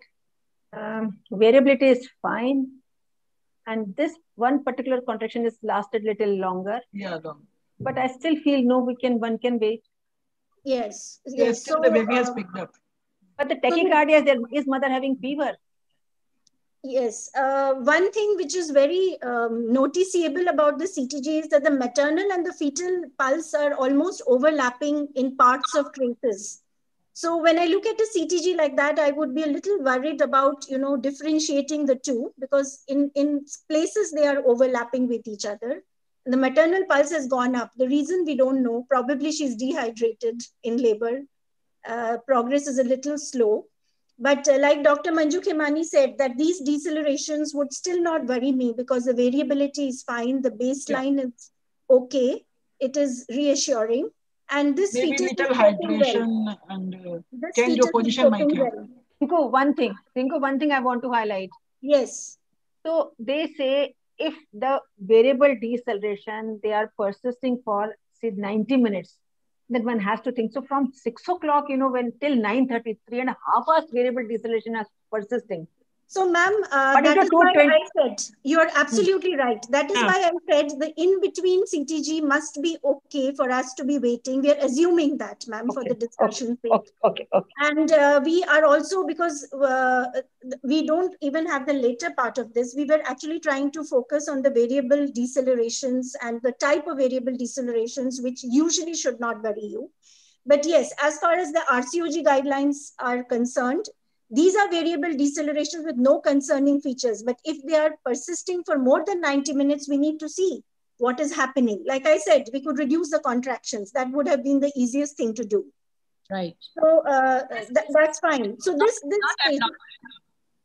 Huh, no, no, this is not abnormal. This is still suspicious, even if they pro, uh, they, yeah. uh, they are there for more than 90 minutes. But like I keep saying, you know, ma'am, talking about suspicious, normal, pathological is no use unless we think about hypoxia. Is this baby at the moment uh, compensating for that hypoxia that is happening? According to all of us, the yeah, baby is compensating. And that is what matters. That because is what matters. So long the variability is good, this baby will not be acidotic. Yes. And anyway, yes. NST, you know, is good to tell us about the hypoxia, but it's bad to tell us about the acidosis. It will always be wrong, you know. You about think that this, acidosis. About Acidosis, yes. Yeah, it doesn't tell us. That's why, you know, so many uh, crying babies come out when we think there's a fetal distress. Yes, yes. Because uh, hypoxia does not necessarily mean that the baby has metabolic acidosis. So those two things are not always hand in hand. Most babies who are hypoxic may not have metabolic acidosis at birth, but that's a different chapter altogether. So let's move on, ma'am. Then uh, I think this baby had a uneventful delivery, had a vacuum because of maternal exhaustion, and everything was well. Although we don't have the cord blood ABG, but we assume it must must have been fine. Can we move on, ma'am? Yes, please. क्या हो गया भैया एक minute sorry Okay, yeah, that's the next. Okay, so uh, this is the admission CTG uh, for this mother, 39 year old with isolated oligohydramnios, and she's being induced. So um, I think it's it's fine. I think most all of us will agree that there's nothing to worry. A lot of movements, and this was done at 12 morning. Next, please, ma'am. No, listen, listen, listen. Go back, go back to CTG. Please. Go back to, see, there is no single baseline Yes, yes. There is yes. no single baseline yes. in this particular CTG. Uh, ma'am, uh, very well pointed out. Yes, ma'am, very well pointed out. Not Actually, ma'am, yes, ma'am, can I, can I just finish? Actually, ma'am, um, uh, the, the mother has marked a lot of movements here. And, you know, there is a phase of uh, a physiological phase, which is called the active wakefulness phase, where the mother marks a lot of movements. They are sustained accelerations and the baseline okay. is not clearly discernible. It is probably that physiological phase. Too many movements and accelerations in response. Exactly. Yes, yes. I should have discussed that. But like Manju ma'am said, that's a great lesson for us that the baseline has to be clearly understood because everything that we talk about, deceleration, acceleration, variability, is in relation to the baseline. If we don't have a baseline, we cannot talk about anything else. So I think the first thing that we should look for is a proper determinable baseline. Otherwise, we the CTG will be indeterminable. But anyway, this was all fine, ma'am. Dr. Khemani, do you agree? I mean, can we move on? this is a physiological. But I'll be a little more careful for this patient in the later till I see a good. Okay you will wait for the CTG to be fine before you yes. induce. Right? Yeah, yeah, you definitely. see a cyclicity. Ah, yes, yes, that's perfect. Next, ma'am. I feel this is the baseline. You know, then yes. there is yes. this is a baseline. Little bit. It could be better. it could be better. With all these movements, if she hasn't yeah. So quickly, there's no time for baseline to remain. Yes. But yes. if you see, if you can see for one minute, there is a steady this thing. This is a baseline. I mean. Uh, so, ma'am, by definition, two minutes. Okay, I think both of you are right, so it's okay. oh, Ringo, I'll clarify here. I'll clarify here. Hmm. So ACOG hasn't updated its guidelines after 2009. Right. And according to ACOG, if the baseline is not there for two minutes. Then it's hmm. not considered at baseline. Though FIGO and hmm. RCOG, they say that you should measure the baseline in one minute. Hmm. Hmm. That so, ma'am, both both of you are correct. right? yes. I'm saying ultimately, I mean, it, like like Rinku said, it is the the, the, the, no, actually, we have a lot of movements over here. Ma'am, can, we, can I say something? There are a lot of feeling movements. That's why there are so many accelerations. In fact, it's a good sign. Divya, have you got two devices? No, ma'am. There's an echo. Is your phone and, and something close by? Because you're getting too much. Okay, I really don't know. Is it okay now, ma'am? It's better. It's better. Yes. Yeah, I just wanted to just add to this. Since we are getting a lot of fetal movement, so the baby is really active and mobile, and hence the baseline is not so easily discernible. And I think it's a good, from my side, it's a very good uh, right. It's a baby which is showing the response and is an active baby. Yeah. Yeah. Thank you. Thank you. Ma'am, can we move on? Yeah. So this this mother was induced with Cerviprime and misoprostol uh, after six hours in the morning, and then uh, three to four centimeter, fifty percent effaced. Um, I'm not so sure about the ARM. Ma'am, was ARM done? Uh, not not now, I believe. So oxytocin was started at 12, and at 8 p.m. an epidural was sited by demand. Move on, ma'am, please. Next slide. So this is the picture that we have here now. So uh, Dr. Shashi, you want to uh, comment? Uh, epidural was given. Epidural was uh, uh, given to this patient, and post epidural, uh, this is the CTG pattern. So, what do you what do you have to say about this? Post epidural.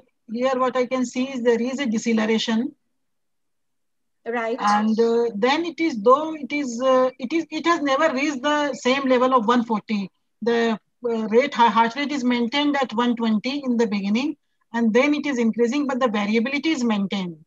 Yeah.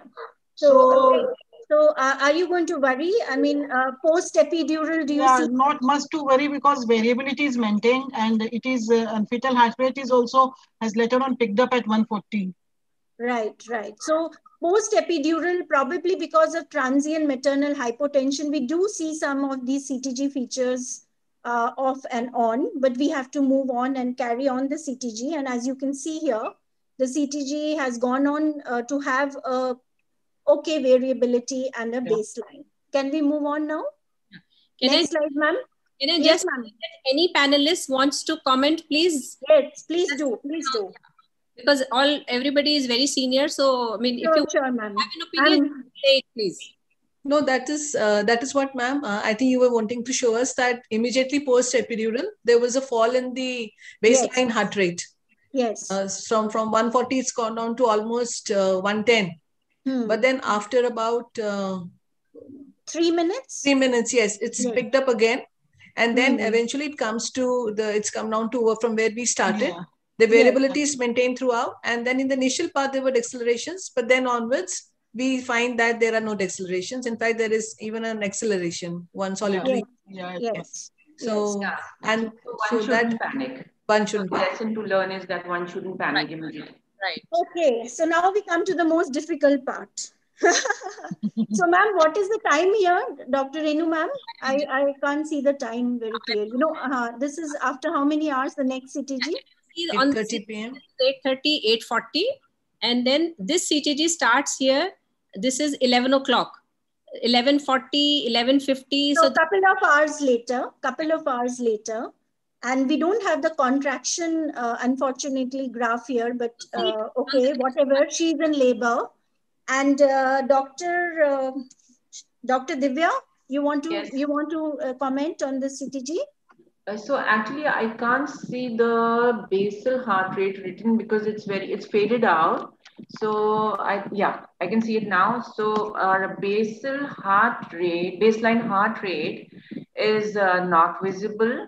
There are a number of accelerations, and uh, if we take the average uh, of these accelerations going up and down, then the baseline heart rate would be within normal limits, which would be around 130. Uh, and uh, the base, uh, the B2B variability is there, and uh, the shouldering is there once the decelerations come up. There is shouldering, and then finally the baseline heart rate goes up and then it goes up right up till 150 160 and so this is the la- uh, last part of the uh, thing where syntocinon was restarted. So there was a bit of fetal tachycardia one would say just a non-reassuring kind of fetal tachycardia. So all in all without the contractions it appears that uh, one has to be careful with this kind of a ctg but I would yet not take a decision to say, yes, this is absolutely pathological and one must uh, go ahead with the cesarean section. So, uh, Ma'am, so may, may I make is, a comment, please? is please? this baby having hypoxia? Is this baby having hypoxia? Ma'am, what is the maternal heart rate in this particular situation? Yes. I So can't again- read. So again, it is not mentioned, but I am assuming that it is it is normal and well differentiable from the fetal heart rate. Ma'am, this, just this mention- is very feeble. Uh, I just wanted to know where is this higher peak at 160, 180 or what? One peak has gone up to 180. It's very feeble. Uh, ma'am, would you call this a sinusoidal pattern? No. I can't No. see for, I would like two things. Uh, will they be called accelerations? Because I can't see the basal um, heart rate. Would this be a sinusoidal pattern?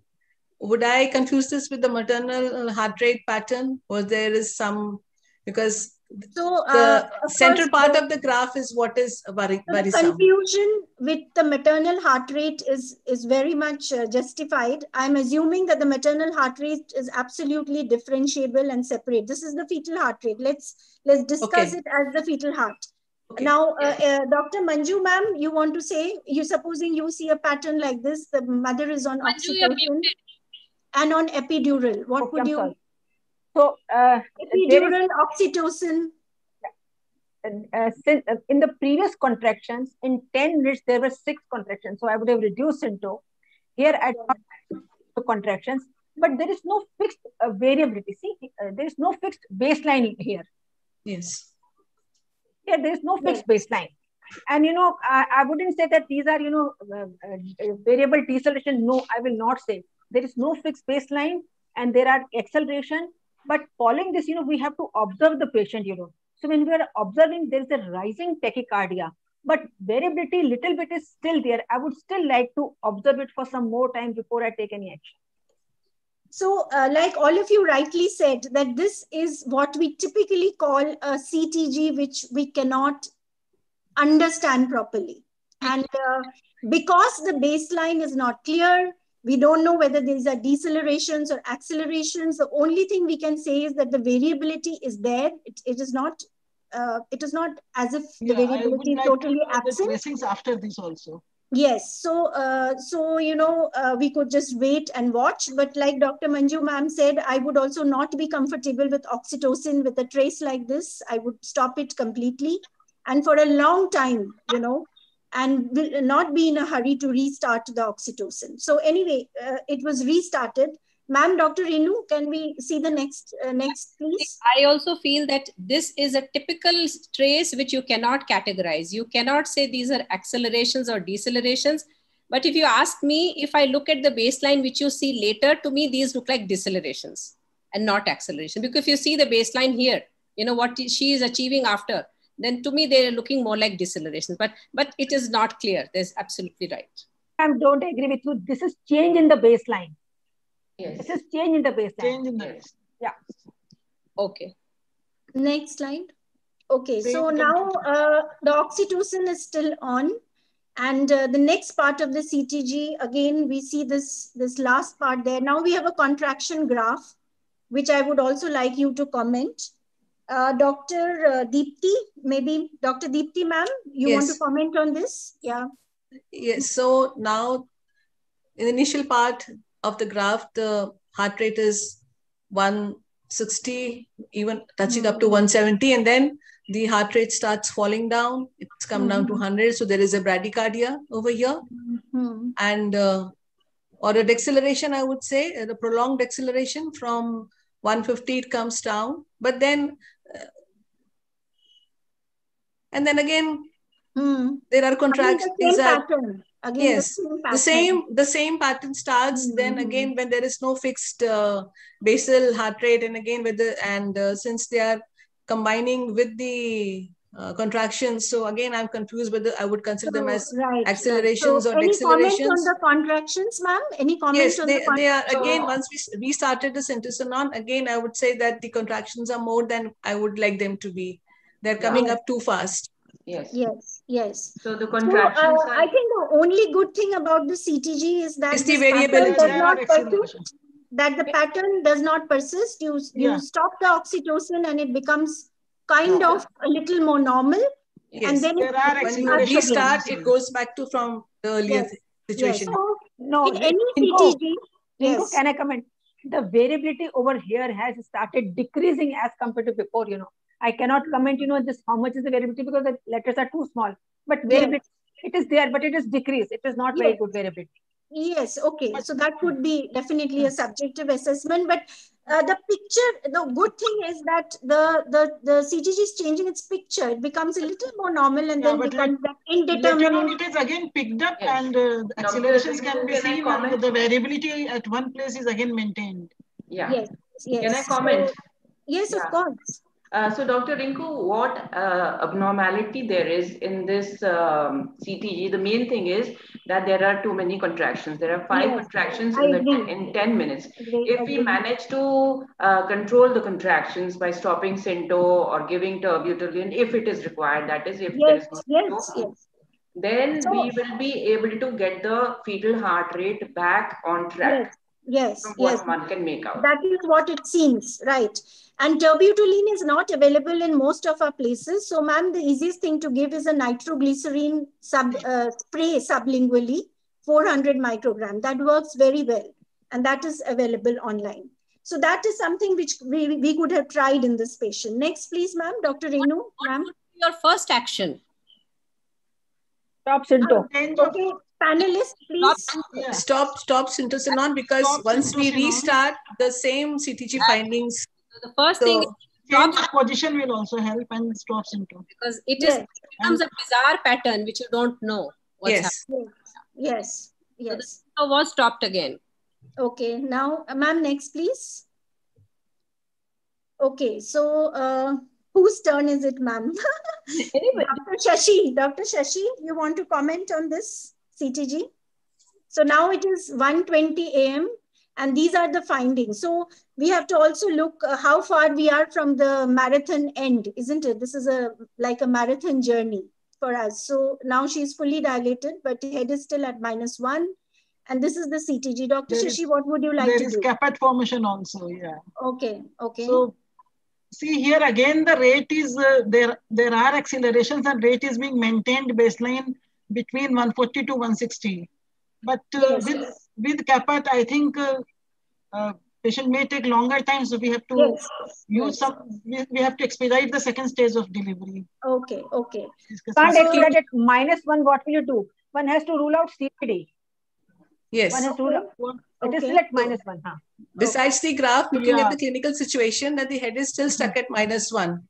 And it is Yes. fully Yeah. dilated and there is a caput formation. So, So I would, I think, keeping the clinical situation in mind, I would. Most Uh, of you will agree that, uh, that you know, this maybe patient doing will go minor, we cannot use any instrument at this. Yes, yes, so we have to go for a a section. C-section. Bailing out the baby is a better option. Next, next slide, please, ma'am. I think one more comment that should have been um, there on the previous, sorry, on the previous slide should be that when you stop Cinto, do a PV to see how far is she, you know, because we need to take decision with these bizarre sort of patterns, isn't it? Anyway, Yes, I agree with you. Huh? okay. So next slide. So finally, finally, what happens? Let's finish the story now. So cesarean was done. Unfortunately, there was a difficulty in delivery of the head, and um, the baby took quite long to come out. In fact, six to seven minutes, and uh, it was it was a nightmare for the consultant and the team.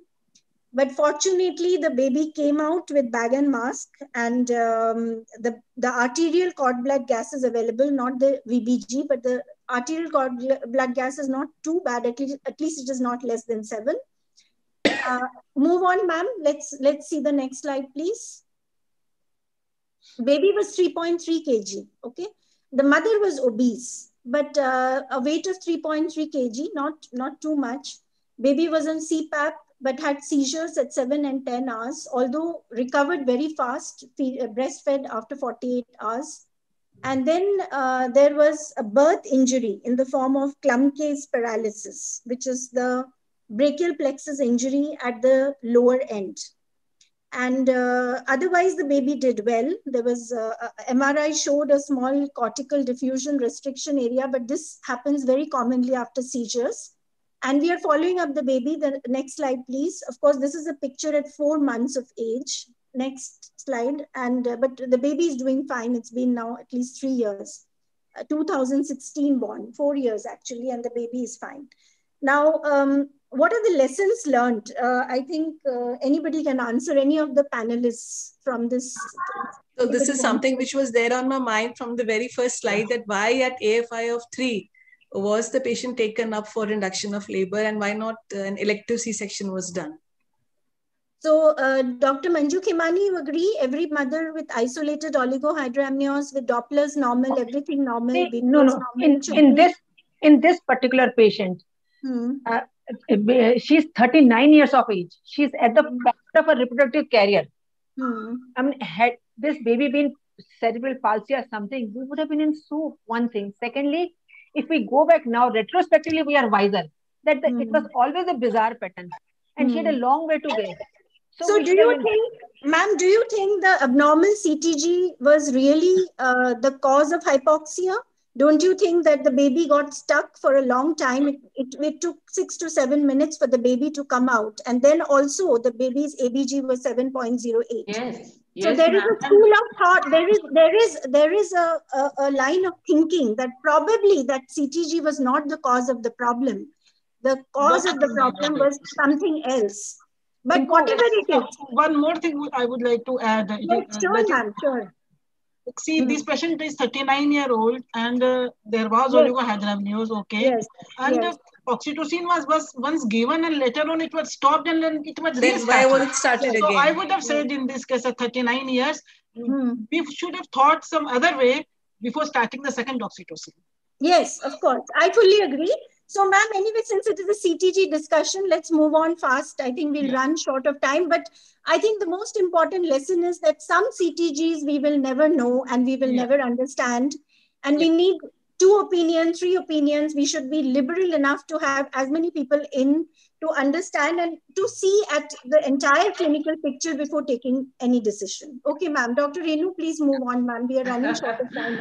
I think. Dr. Rinku, in the एक meantime, minute एक minute एक minute मैं बोलना चाहती हूँ please Rinku sorry तुम्हारे space के लिए Sure, sure, sure. so that means somewhere the assessment was wrong Hmm. because minus one पे अगर head है we can hook it out why was there difficulty in taking patwardhan was it an occipital posterior position which was missed because patwardhan becomes occipital so I think there's somewhere you know the Anyway, judgment uh-huh. Ma'am, This is, ma'am, as far as I am concerned, one thing is very clear. There was no hypoxia to the baby during her intrapartum time. The CTG does not show anywhere. Uh, the blood gas also shows that the uh, pH was 7.08. So we are clear on the CTG, absolutely, even medico-legally. It's just that it took time to deliver the patient, the baby, and that is where the problem uh, happened, and that is why the uh, uh, brachial plexus also got paralyzed.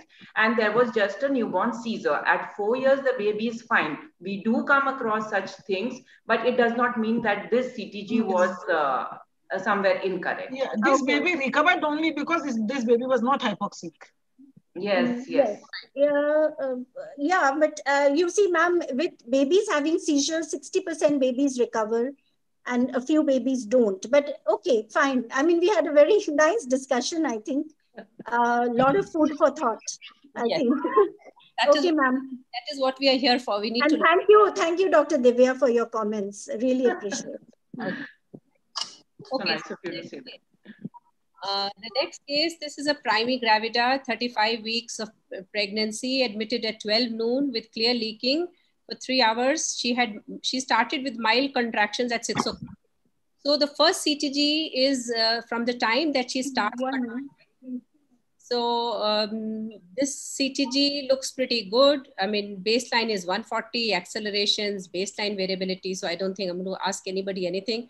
And she is in early labor. She is getting about two contractions in 10 minutes, which is also fine. So let's move on. Okay. So um, now eight o'clock, if you want to see the timeline back, six o'clock patient is, is uh, having mild contractions, just one to two contractions. And we haven't given her anything. 8 o'clock, a misoprostol is given, 25 micrograms sublingual. 115, which is like five hours later, she's three centimeters, 70% effaced, station zero to plus one, bag of membrane plus, ARM is done, and there's meconium stained liquor. And if you see the timeline on the CTG, then it is actually starting almost this time when the PV was done, 1.15 a.m., because it is 120 here. So you take it that this CTG starts from this PV, three centimeter bag of membrane, ARM is done, and meconium stained liquor is there. So, um, Dr. Deepti, maybe I start with you. What do you think of this CTG? So, ma'am, first of all, I look at the contractions. They are more than what we really need, and they're coming too fast, and they're there. And looking at the CTG findings, there is there are decelerations now, pronounced decelerations, and they are variable decelerations. Some they are or rather late because they're coming after the contraction has even passed.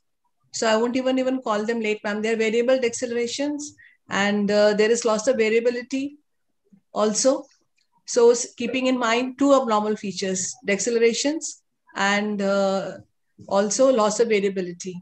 And the contractions are coming too fast, rather. I think if you see this, this is 10 minutes from here to here. Okay. Yes. You have So one, one, two, three, four, five, six, seven, eight contractions. No, no, these are these are only this is only one contraction. See, you cannot have a One-. There are only three contractions. One, two, three. That's it in 10 minutes.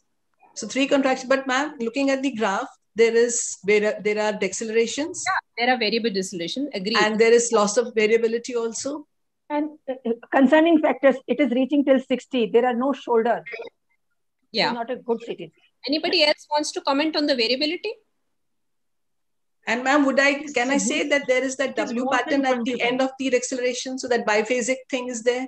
So No. that is again uh, not a very good uh, feature. No, how do you call it biphasic? They are just it's going down and coming up. So in the first acceleration, if you look, Like a W shaped. yes, yes, ma'am. Uh, anybody else has a comment on variability? Do you think the variability is less normal? Less. I would So- say it's less. Okay. So the the good the the only I mean the few good things that the baby has is the baby is uh, is coming back to its baseline. Although for a this is a typical subacute hypoxia pattern. The baby is coming back to the baseline for two minutes, but two minutes or one and a half minutes, but staying more in the deceleration phase. We, Yeah. we need to do something. We need to see wh- why it's happening, isn't it? But but uh, I mean the bad point is that there are decelerations. Hmm. Good thing is, and, and the other bad thing is they're going down up to 60. Yes. Good yes. things are that uh, it is coming back Coming back to baseline.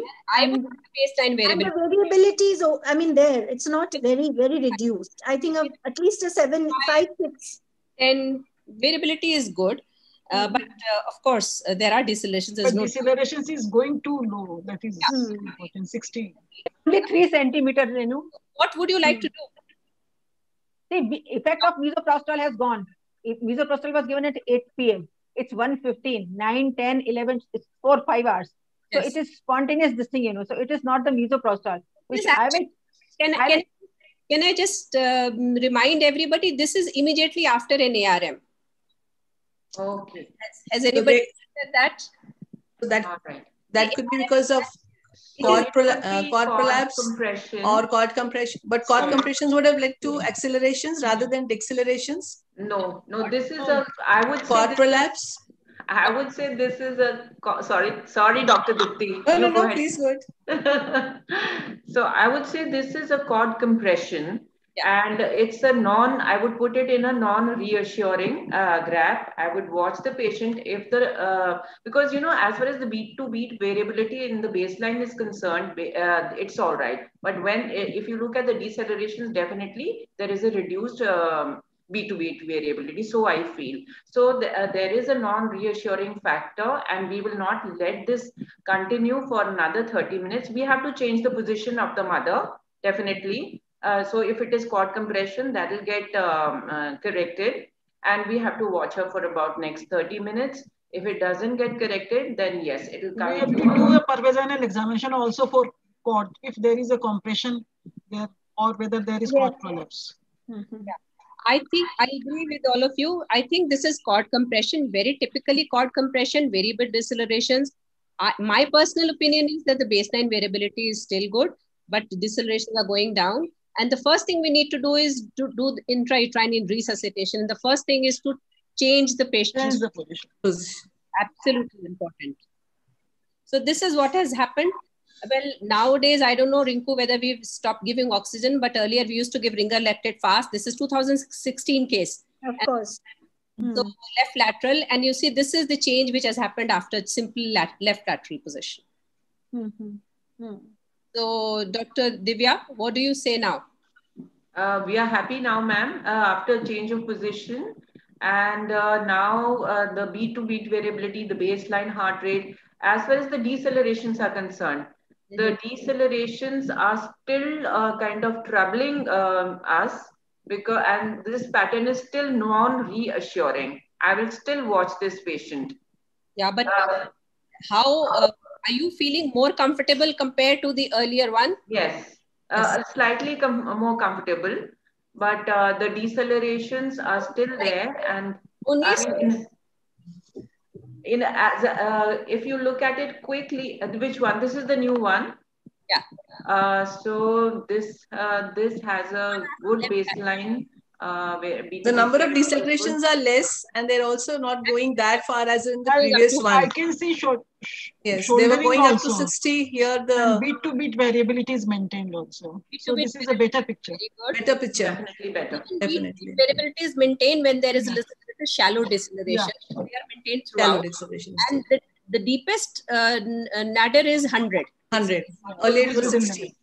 Okay. okay. Uh, so mm, what, what what do you want to do? You want just want to watch her? Yes. Watch her. Manju दी आप कुछ और करना चाहेंगी? Nee, right now it looks reassuring. So I'll, I mean, not that bad as it was. So we can still wait. So how how you know? I mean, it is magical. Left lateral position eh, can change so probably the cord compression must have also got you know lifted up.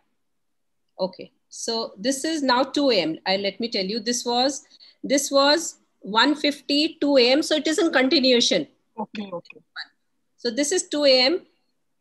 Patient is bearing down. So this is the second stage stress. Are you unhappy, Manjudi?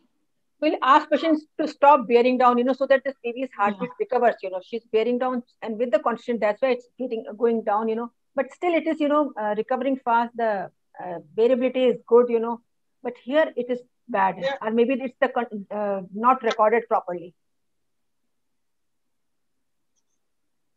I think recording, I mean, uh, unless you have a fetal scalp electrode, you will not have every beat. But it's quite, you know, you can see that the baseline is here and the decelerations are here. So they are still va- variable decelerations, slightly worse than, than So previous. you, would you like to consider instrumental, any of you? That's what I wanted to ask. So Rinku, in second stage, this uh, asphyxia sets in very fast. So one should be careful at this stage. You know, if the patient Yes. is you know fit enough for the vacuum delivery, it is better to remove the baby rather than putting the baby and to proving that yes, I took out you know uh, non-acidotic. No, we don't have to prove anything. We have to have a happy crying baby. So do a fast uh, vacuum delivery if the pa- patient is fit. Yeah, but if the baby is at head is at minus uh, one or zero, then one has to think what will you do. So basically, this was um, like it started around two o'clock, and this is only about 15 minutes trace. And uh, but but you can. I would like to say one thing. Yeah. Here yes. the deceleration is touching up to 70. Yeah. So we may use instruments in this case. We can we can go for an instrumental delivery in this case. Depending upon the station of the head. Yeah, depending. That that definitely can be a consideration when you see. Can I say something, ma'am? Yes, Can I say something? So in this patient, firstly, I mean, if we could try it, we have to uh, ask the patient to stop bearing down. We have to change her position because usually we make the patient bear down in a supine position. These are variable decelerations. So we ask her to stop bearing down. We put her in a left lateral and then again observe. And if everything uh, gets back to normal, then probably, you know, I mean, of course, it's recommended also nowadays that we can ask her to uh, uh, push down in a different position, maybe a squatting position or a, something like that, not a supine position. So that is uh, one possibility. Yes, yes. In a kneeling position, point very well taken. Sometimes decelerations improve when mother changes position. Like in the kneeling position, we very comfortably do delivery sometimes. There is also one one more guideline where people say make her push alternate contractions. You know, that's one of them. Okay, so I think let's move. Rinku, another, you know, in my labor room, you know, we have small pillows, you know, which we put underneath the patient's this thing. And so Mm. she is fine, but slightly tilted. Or maybe, you know, I put four, four three, you know, these Ringer lactate bottle. So patient is tilted, you know, slightly, so that compression is gone, you know. Or If we it is can because put a wedge on one side. Hmm. Yeah. I'm slightly in an upright position rather than in the. Even like like- so we raise the head side of the table, make it almost eh, at uh, 60 degrees. So she's like Hmm. sitting on a sofa. Right. So. I, I visited a center in uh, Hyderabad where they were making the patient, they had ropes tied from the roof and they were making them, you know, they were holding on to the, the ropes and bearing down in sitting position, squatting. Yeah. In Aurangabad also, ma'am, in medical college, lots of different types of methods have been done and different types of beds Yeah. and their propositions. It is more physiological than lying down. It is more physiological. Yes. Okay. So anyway, this baby delivered uh, in half an hour uh, of second stage, which was not uh, prolonged. 2.2 kilos and good APGAR, no instrument used, and the baby was fine. Okay, let's move on to the next case. So this patient is uh, 30 years, primi, 39 plus four weeks, hypothyroid, cholestasis, came to the labor room with pain abdomen for five hours. Eight o'clock in the morning, she was two centimeters, 70% effaced, vertex at minus one, bag of membrane plus, written ROP. Uterine contractions were two, 20 to 25 seconds every three to four minutes. So early labor, CTG was completely reactive. So I have not put the CTG. Now, four hours later, 12 noon, she's three centimeters, 90% effaced, minus two to minus one. I think this should have been minus one only because it was minus one. It won't go back. Anyway, should be minus one. ARM was done and clear liquor. One o'clock, oxytocin infusion is started at 1.5 milliunits per minute. We generally use a low dose protocol. So it is started with 1.5 and four o'clock patient has an epidural. So one o'clock oxytocin started, four o'clock epidural. This is the next CTG. So this CTG is at four. The, four the prior CTG is reassuring, isn't it, ma'am? That's what we have to tell. Mm-hmm. So four o'clock patient had epidural and this, this tray starts from 440. I mean, uh, 435, you can say this CTG starts. And this is the tracing we've got. Dr. Manju, what is So your if, if I see the contractions, uh, maternal heart rate is fine. If I see the contractions, they are five in 10 minutes, that's also fine. But again, you know, with each contraction, she's having a drop, but it is the shouldering is over here. The, there is no fixed baseline. Variability is reduced, but it is still there, you know. Maybe we can try left lateral and, you know, see how she's behaving. But it is non-reassuring. There are no pathological features in this CTG, according to me. True, true. So what would you like to do actually? uh, how much was she dilated this time? And I'll stop syntocinon, which was going at this rate, you know, because let the baby recover during contraction and give her, you know, some uh, left lateral position. Intravenous fluid, I still follow. But uh, how many? Observe the, observe the CTG for another 10, 15 minutes to see with all these changes, is it recovering? So what we agree is that these are variable decelerations, that uh, there is still beat to beat variability is maintained. It's certainly more than five. And the decelerations are going maximum up to 100, well, 110. And uh, so it is non-reassuring, but not pathological. So one can wait and watch. And this is the next. So Dr. Shashi, do you like to take this one? This is now 550. So if I just remind you that the last one was 4.40 p.m. and this has uh, like till 5 o'clock it has gone on here and this is 5.50. So it's almost like immediate. So this is the CTG now. Syntocinon is still going. It has not been stopped, by the way. So this is the CTG, Dr. Shashi. Yeah. So 550, she had two decelerations and then uh, baseline is maintained around 170 and there are multiple decelerations. Like one deceleration has gone up to 80 also. What is So the they are in the previous CTG and this one? How do you think it's getting better, worse, same? Baseline is rising. It is baseline is reached. Baseline is rising. 180. 180. Mm. Here, baseline is 180. It is pathological. rising. And the depth of the 170. deceleration, And depth of the depth of deceleration, deceleration is also at one point it has decreased a lot, up to, has gone up to 80. 80. And So variability. significant variability. Deceleration was up to even the previous one, and it's a very short deceleration, not even half a minute. Yeah. It's not probably so worrying, but I think But they, in this, the deceleration is little worrying. This, especially the one which has gone up to 80. no, but that's a two decelerations. I would. this is also up to 80 and uh, and the other thing is that this deceleration is very short it just goes Yes. down Yeah. So this Yes, is not worrying. This But is not the But worrying. again, but but the the base- shouldering is there and beat to beat variability is almost the what baseline heart rate has baseline baseline heart heart rate has increased has gone up to 180. Yes, yes. Yes. So, So that is the point to worry. Sorry, ma'am. yeah, yeah, yes, Dr. Divya. So uh, we have a fetal tachycardia uh, over here, and this is a non-reassuring pattern right now. It's not pathological yet. Right. So we have to watch her closely, and we have to come to a decision in the next few minutes, Yeah. the next 30.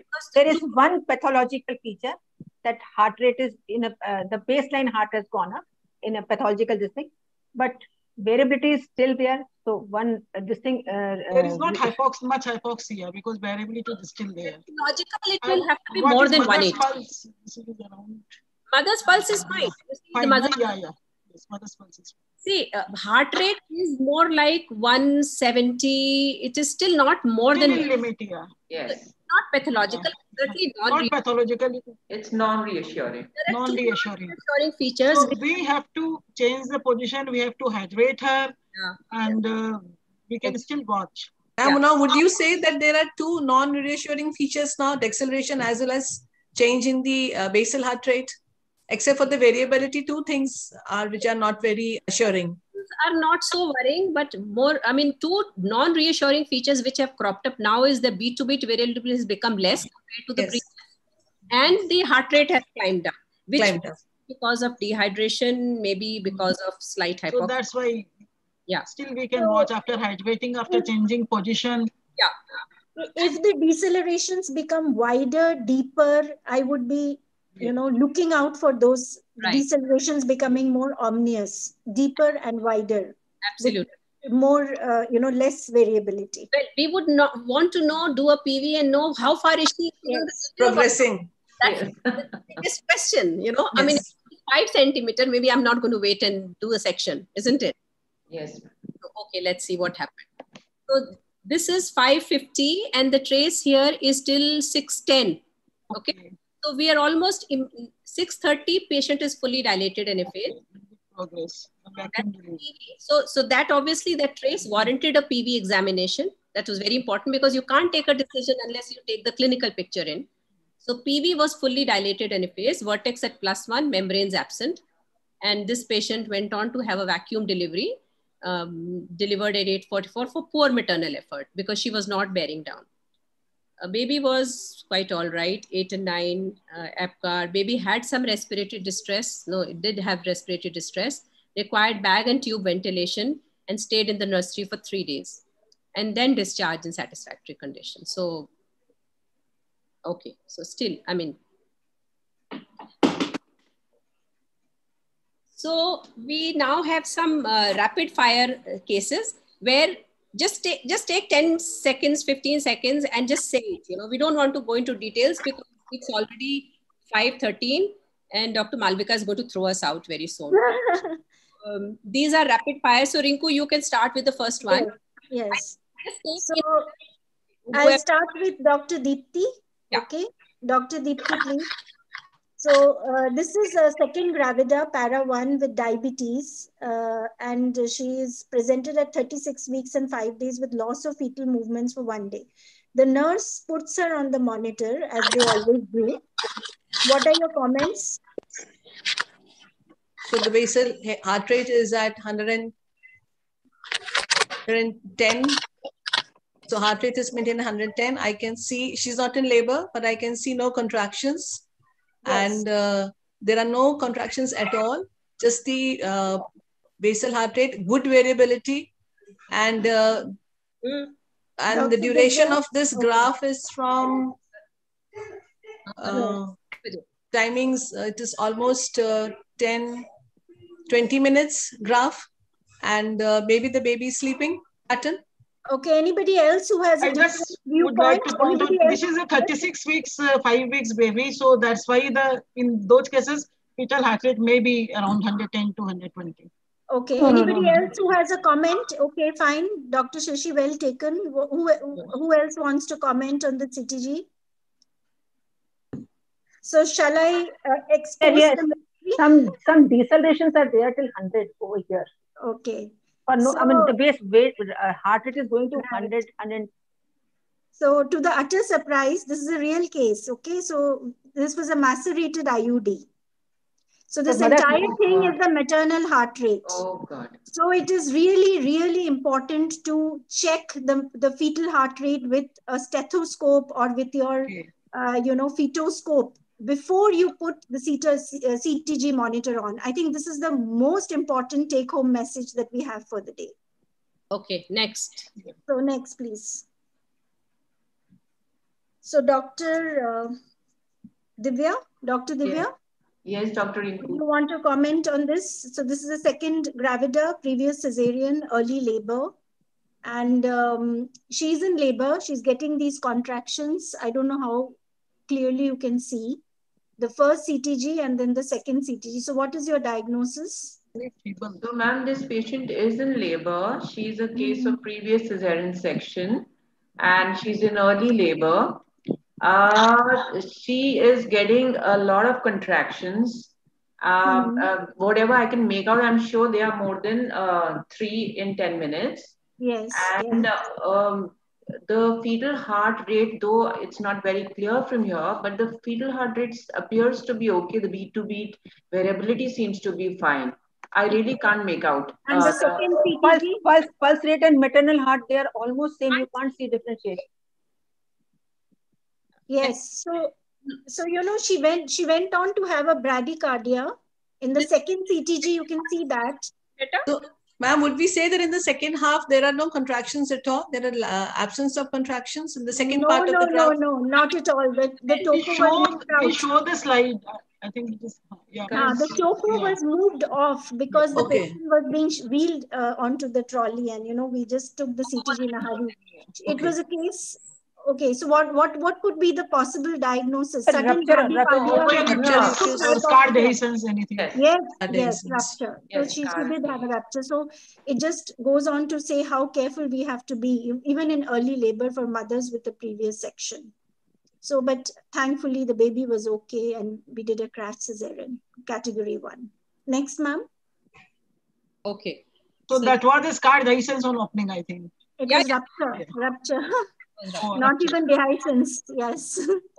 So you have asked uh, uh, Rinku किससे पूछा आपने doctor शिमानी और doctor Shashi बा- अ, बचे हैं Okay, okay.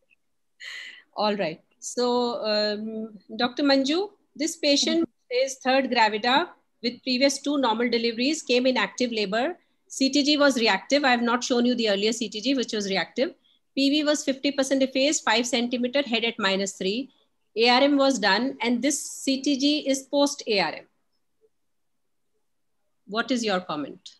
So here there's a prolonged deceleration, say two and a half minutes, right?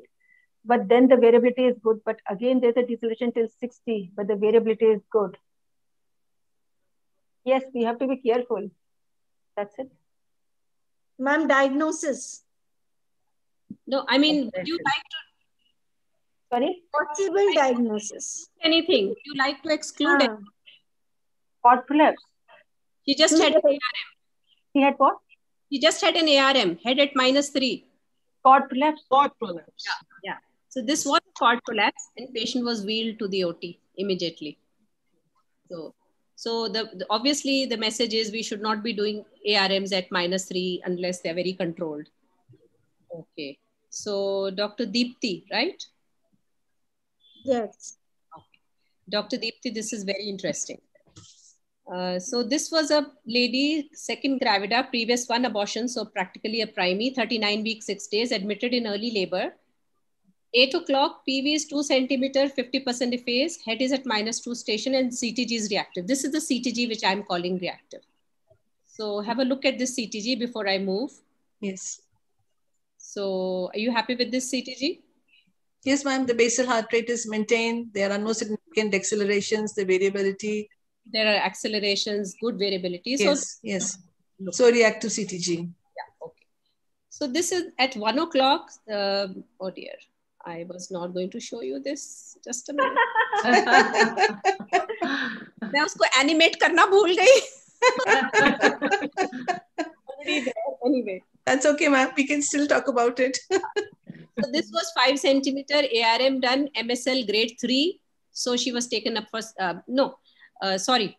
This was the CTG on at one o'clock. So the earlier one was 8 a.m. This is Yes. five hours later. This was the CTG on um, uh, abdominal. health.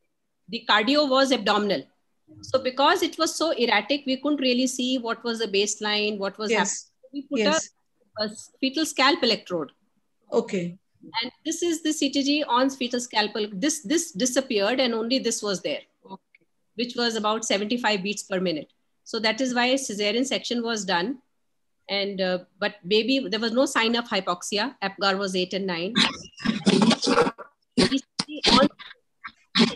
Showed ventricular in trigeminal. So, but reason, ma'am, because in this particular graph, this is almost like a straight line. There is no variability. There are no decelerations, nothing, are just for a steady line. Ma'am, they're missed beats, so we can't determine the CTG properly. It is very difficult to understand the CTG. They're patchy. And another thing is that I do not know how a Madam, scalp what was the reason behind this low fetal heart rate? Was there any high risk or anything happened? Ectopics, ventricular ectopics. These are Mixed beats. okay. ECG. Okay. so I had a similar case with Fetal- complete fetal heart heart- block. Yeah. Yes, Dr. Divya. Yeah, so I also had a case of complete heart block of the fetus and had a similar kind of a showed us a similar kind of a trace. So one has to be careful, you know, like one has to know what is going on with the baby's uh, actual heart activity. You get a fetal echocardiography and all those kind of things done, and then decide on the, the Yes. exact uh, CTG tracing. For But in labor, a lot of them land up in sections, ma'am, because it is very difficult to monitor them on the CTG. Yes, true. Mm. What they say that you could do an uh, uh, ultrasound in the labor ward and look at the baby's heart. But the other problem you see, ARM it was a thick paste like meconium. And it is actually contradictory when I tell you APGAR is 8 and 9 and Yes. baby is fine, no sign of hypoxia. So, um, but, but there was, uh, I mean, thick meconium. So even without, even if there was not this trace, probably somebody would have done a, s- a Yes, with that thick Yes. meconium, would have taken a decision to C-section. So, but anyway, this was the case. So the baby was followed up till about three months.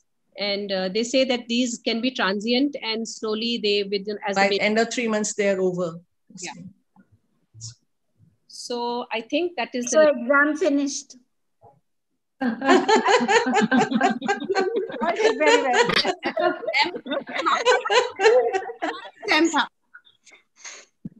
Whether we can ask you the right questions.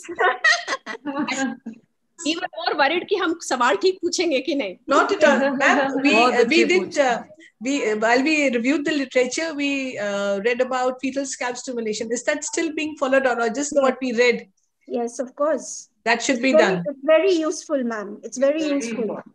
Even any Oh, any CTG which we don't understand properly, we can do a scalp stimulation scalp and be reassured. Both NICE guidelines and SOGC guidelines, they say that if you are in doubt, do a scalp stimulation. Yes. yeah. Scalp stimulation can be done easily. Because fetal blood sampling is not that simple. It is more cumbersome. So Cumbersome and not available also easily And even if with scalp stimulation, there are accelerations on that means that baby is yeah, baby is. cannot happen So initially, as soon as the baby, uh, the mother comes in, when she comes in for her first checkups, the first PV also should have a uh, fetal um, uh, scalp stimulation, you know, just by uh, finger poking the finger. And if it is positive, like if there is an acceleration, it's good. It shows that the baby is going to probably do well. And whenever one does a PV, then one does this. One can always do it, yes. No, but then when you do I it, just wanted to add one thing for the audience. Like in one case, we discussed there was cord prolapse and there was a crash CS. So in that case, I would just like to tell them that if there is a cord prolapse, then you fill the bladder there. And when while taking to the OT and after opening the abdomen and making a leak on the peritoneum, we deflate the bladder and take out. Then the cord pressure will be lifted up and baby will be alive. right. That's a very good point. Very good. Thank you. More other cases, but then obviously since time of it, and you know when you start discussing, you can't just like take. I mean, you can't stop. So, so that's it for today. And uh, are there any questions to be answered? Uh, Rabni, can you just check out if there are any questions in the chat box? No open questions. No good questions. Good. Actually, there is. There were, I think there are, there were some, but I can't see them now. They must have got their answers from the panelists. Yes, maybe. I think it was excellent. Withdrew their questions. Uh, it was very, very well Yeah. brought out, Dr. Renu, Rinku, and all the panelists. I think it was excellent. Thank you. you know, there are so many take home messages for all of us to learn as we go on in practice about your, you know, squatting. And we've had some good experience with squatting, left lateral, all those things. Excellent. Very well brought out. Renu and Rinku, I think you people did a good job, and all the panelists have brought out the subject so beautifully. Thank Thank It was you, ma'am. Really appreciate. Really appreciate. Let's give a bit applause to the ring. Yes. Thank you. Yes. Very good. Excellent. Excellent. Yes. Uh, you know, uh, you know, actually, to uh, share with all of you, we have so many delegates with us. We had planned this almost like two months back when I first spoke to Renu, and I also had a word with Dr. Kanwal Gujral.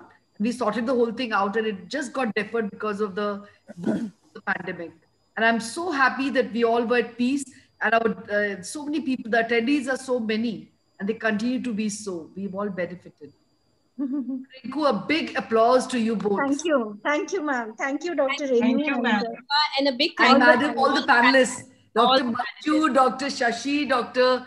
Uh, Divya, Dr. uh, Deepti, all of you have done so Absolutely great. really good, really great good. Because Very well brought out. basically what is our day day to day job isn't it that's what we are doing so Yes. i mean see everybody gave spontaneous answers nobody knew any cases nobody had seen any cities but that Rinku को भी नहीं पता था madam आपने रिंकू से भी share नहीं करा था the whole PPT she have not shared with me. Very good बहुत बढ़िया बहुत ही बढ़िया मैडम बहुत मजे का कौन टीचर मैडम ने अपना टीचर वाला काम किया नहीं, ऐसे नहीं मेरे भी टीचर है यहाँ पे मंजू जी हैं Dr. Manju Khemani is a real. Mm-hmm. I would like to share something. The first thing I did was I looked up Dr. Manju's uh, article in the May 21 uh, yes, bulletin. Yes, yes. I first read the whole article very nicely. then I looked up Dr. Renu Mishra's book, which I had during my MD uh, post graduation days. So I dug out that book when she's mentioned wow. she was in Abu Dhabi. Yeah. So I took out that book and then you know but still i was so worried but thank you so much Thank dr. Dr. So good. may 2021 yes. bulletin which dr Deepti told me yes i told everyone सबसे to तो वो पढ़ लो one, one, one thing i want to say you know over here which we have missed out you know in this whole session so if you read out the nice 2021 bulletin yeah. pathway yes it's very confusing it's not easy to remember everything and practice mm. it hmm. every day but compared to that 1990 sorry the 19 FIGO is very simple. Yes. Um, one yes. has to have that, you know, thing in your labor room mm. so that, hmm. you know, you can classify immediately. Because right now we have read, we know, after one month we'll forget. We'll forget. Mm. You know, that's why I said, जैसे वो RCOG RCOG में है ना कि more than 30 minutes ये less than 30 minutes ये you yeah. cannot remember cannot remember oh, that was very, very difficult, difficult. yes no but yes. actually you just have to understand the gist of it that yeah, if exactly. there are contractions there are decelerations which which are worrisome so so, अगर वो थोड़ी देर आके ठीक हो जाए तो कोई बात नहीं है। If they continue you have to act so like Rinku said you have to see whether this baby is hypoxic whether I need to baby out so at the end of the that's the bottom line अब जो that's the thing कि baby hypoxic है या नहीं है baby reactive है या नहीं है। कॉम्पेंसेट कर रहा है कि नहीं?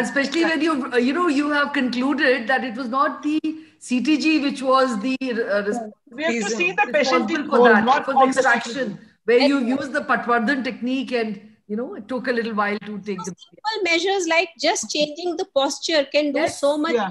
so much. changes. Madam squatting. You know what you were what? saying holding on to that you we hold on to the table and make the patient squat not yes. well even the monitoring. Paper may physiological. Hydration hydration कोई नहीं देखता बिचारी पड़ी है घंटों घंटों पड़ी है उसको because she is feeling nauseating she refuses to drink anything so we have to little things actually contribute yes चलो बहुत मज़ा आया Thank you. ma'am. Excellent. Thank you so much. Thank you so much. you can have a It was such a privilege to be on Thank the panel. Thank you so much. Yes, Thank ma'am. Really Thank you. enjoyed. Thank you very so much. Thank you, thank you, ma'am, for giving us Dr. an Payal, opportunity. This please, is Ranjit. please, we have to thank Walter Bushnell. The vote of thanks. Yeah. Yeah, vote of thanks by Dr. Payal, please. Good evening, everyone. It is a great privilege for me to present the vote of thanks First of all, I would like to thank our mentors, Dr. Sharda Jain ma'am and Dr. Urmil ma'am for their constant guiding light and inspiring words. A big thanks to Dr. Gujral ma'am for your excellent coverage on antepartum surveillance. It was quite an enlightening talk and you made our concepts really clear, ma'am. Thanks to Dr. Aba Sood ma'am and Dr. Harsha Khullar ma'am for chairing the session so well.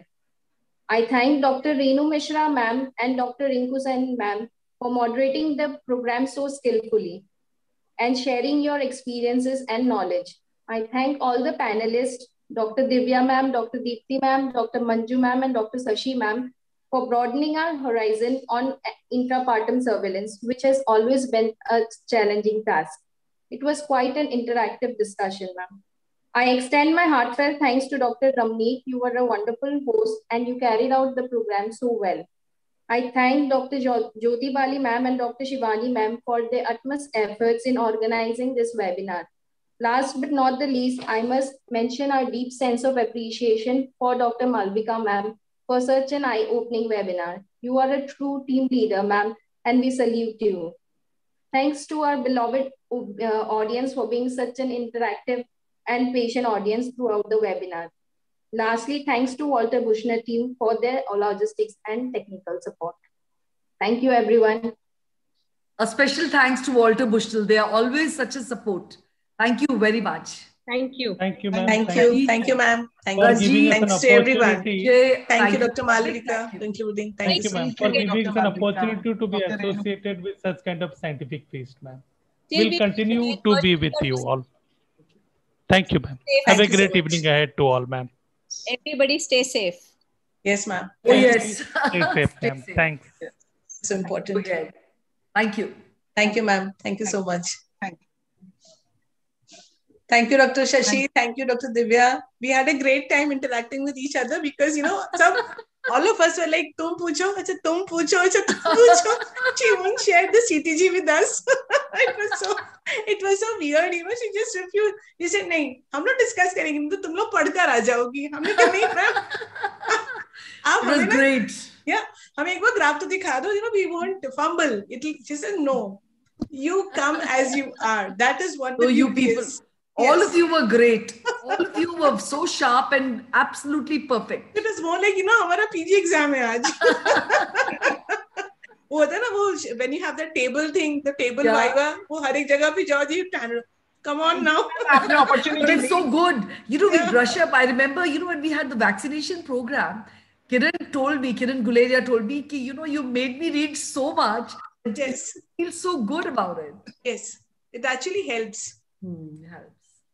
All time. Hi, Dr. how are you? I'm yes, seeing you such a long time. I, I let me correct you there. It was totally ma'am's credit to have pulled off because me and Shivani are unable to do as per our expectations. So she oh, has Jyoti, to. Uh, no, your presence was. To Jyoti, your presence was noted, my dear. Even Shivani. Thank you so much, ma'am. Yeah, of course.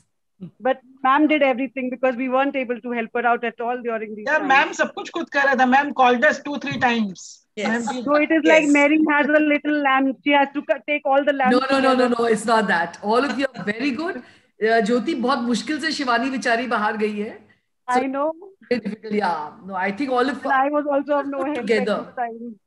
This time. So thank you very much. Thank you so much, Yes, ma'am. thank you so We much. have overshot our time totally, but the subject was so good. Yes. The audience was so good, you know. Yeah, they all stayed. Till the end. They all Yeah, stayed. We've all benefited, you know. Yeah. We've all It was benefited. worth it. Worth we it. have all benefited.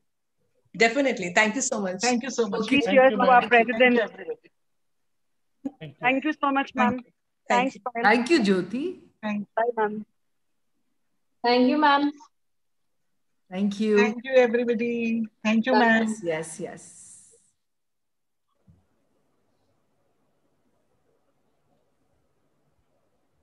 Thank you, ma'am, for getting associated, giving us an opportunity.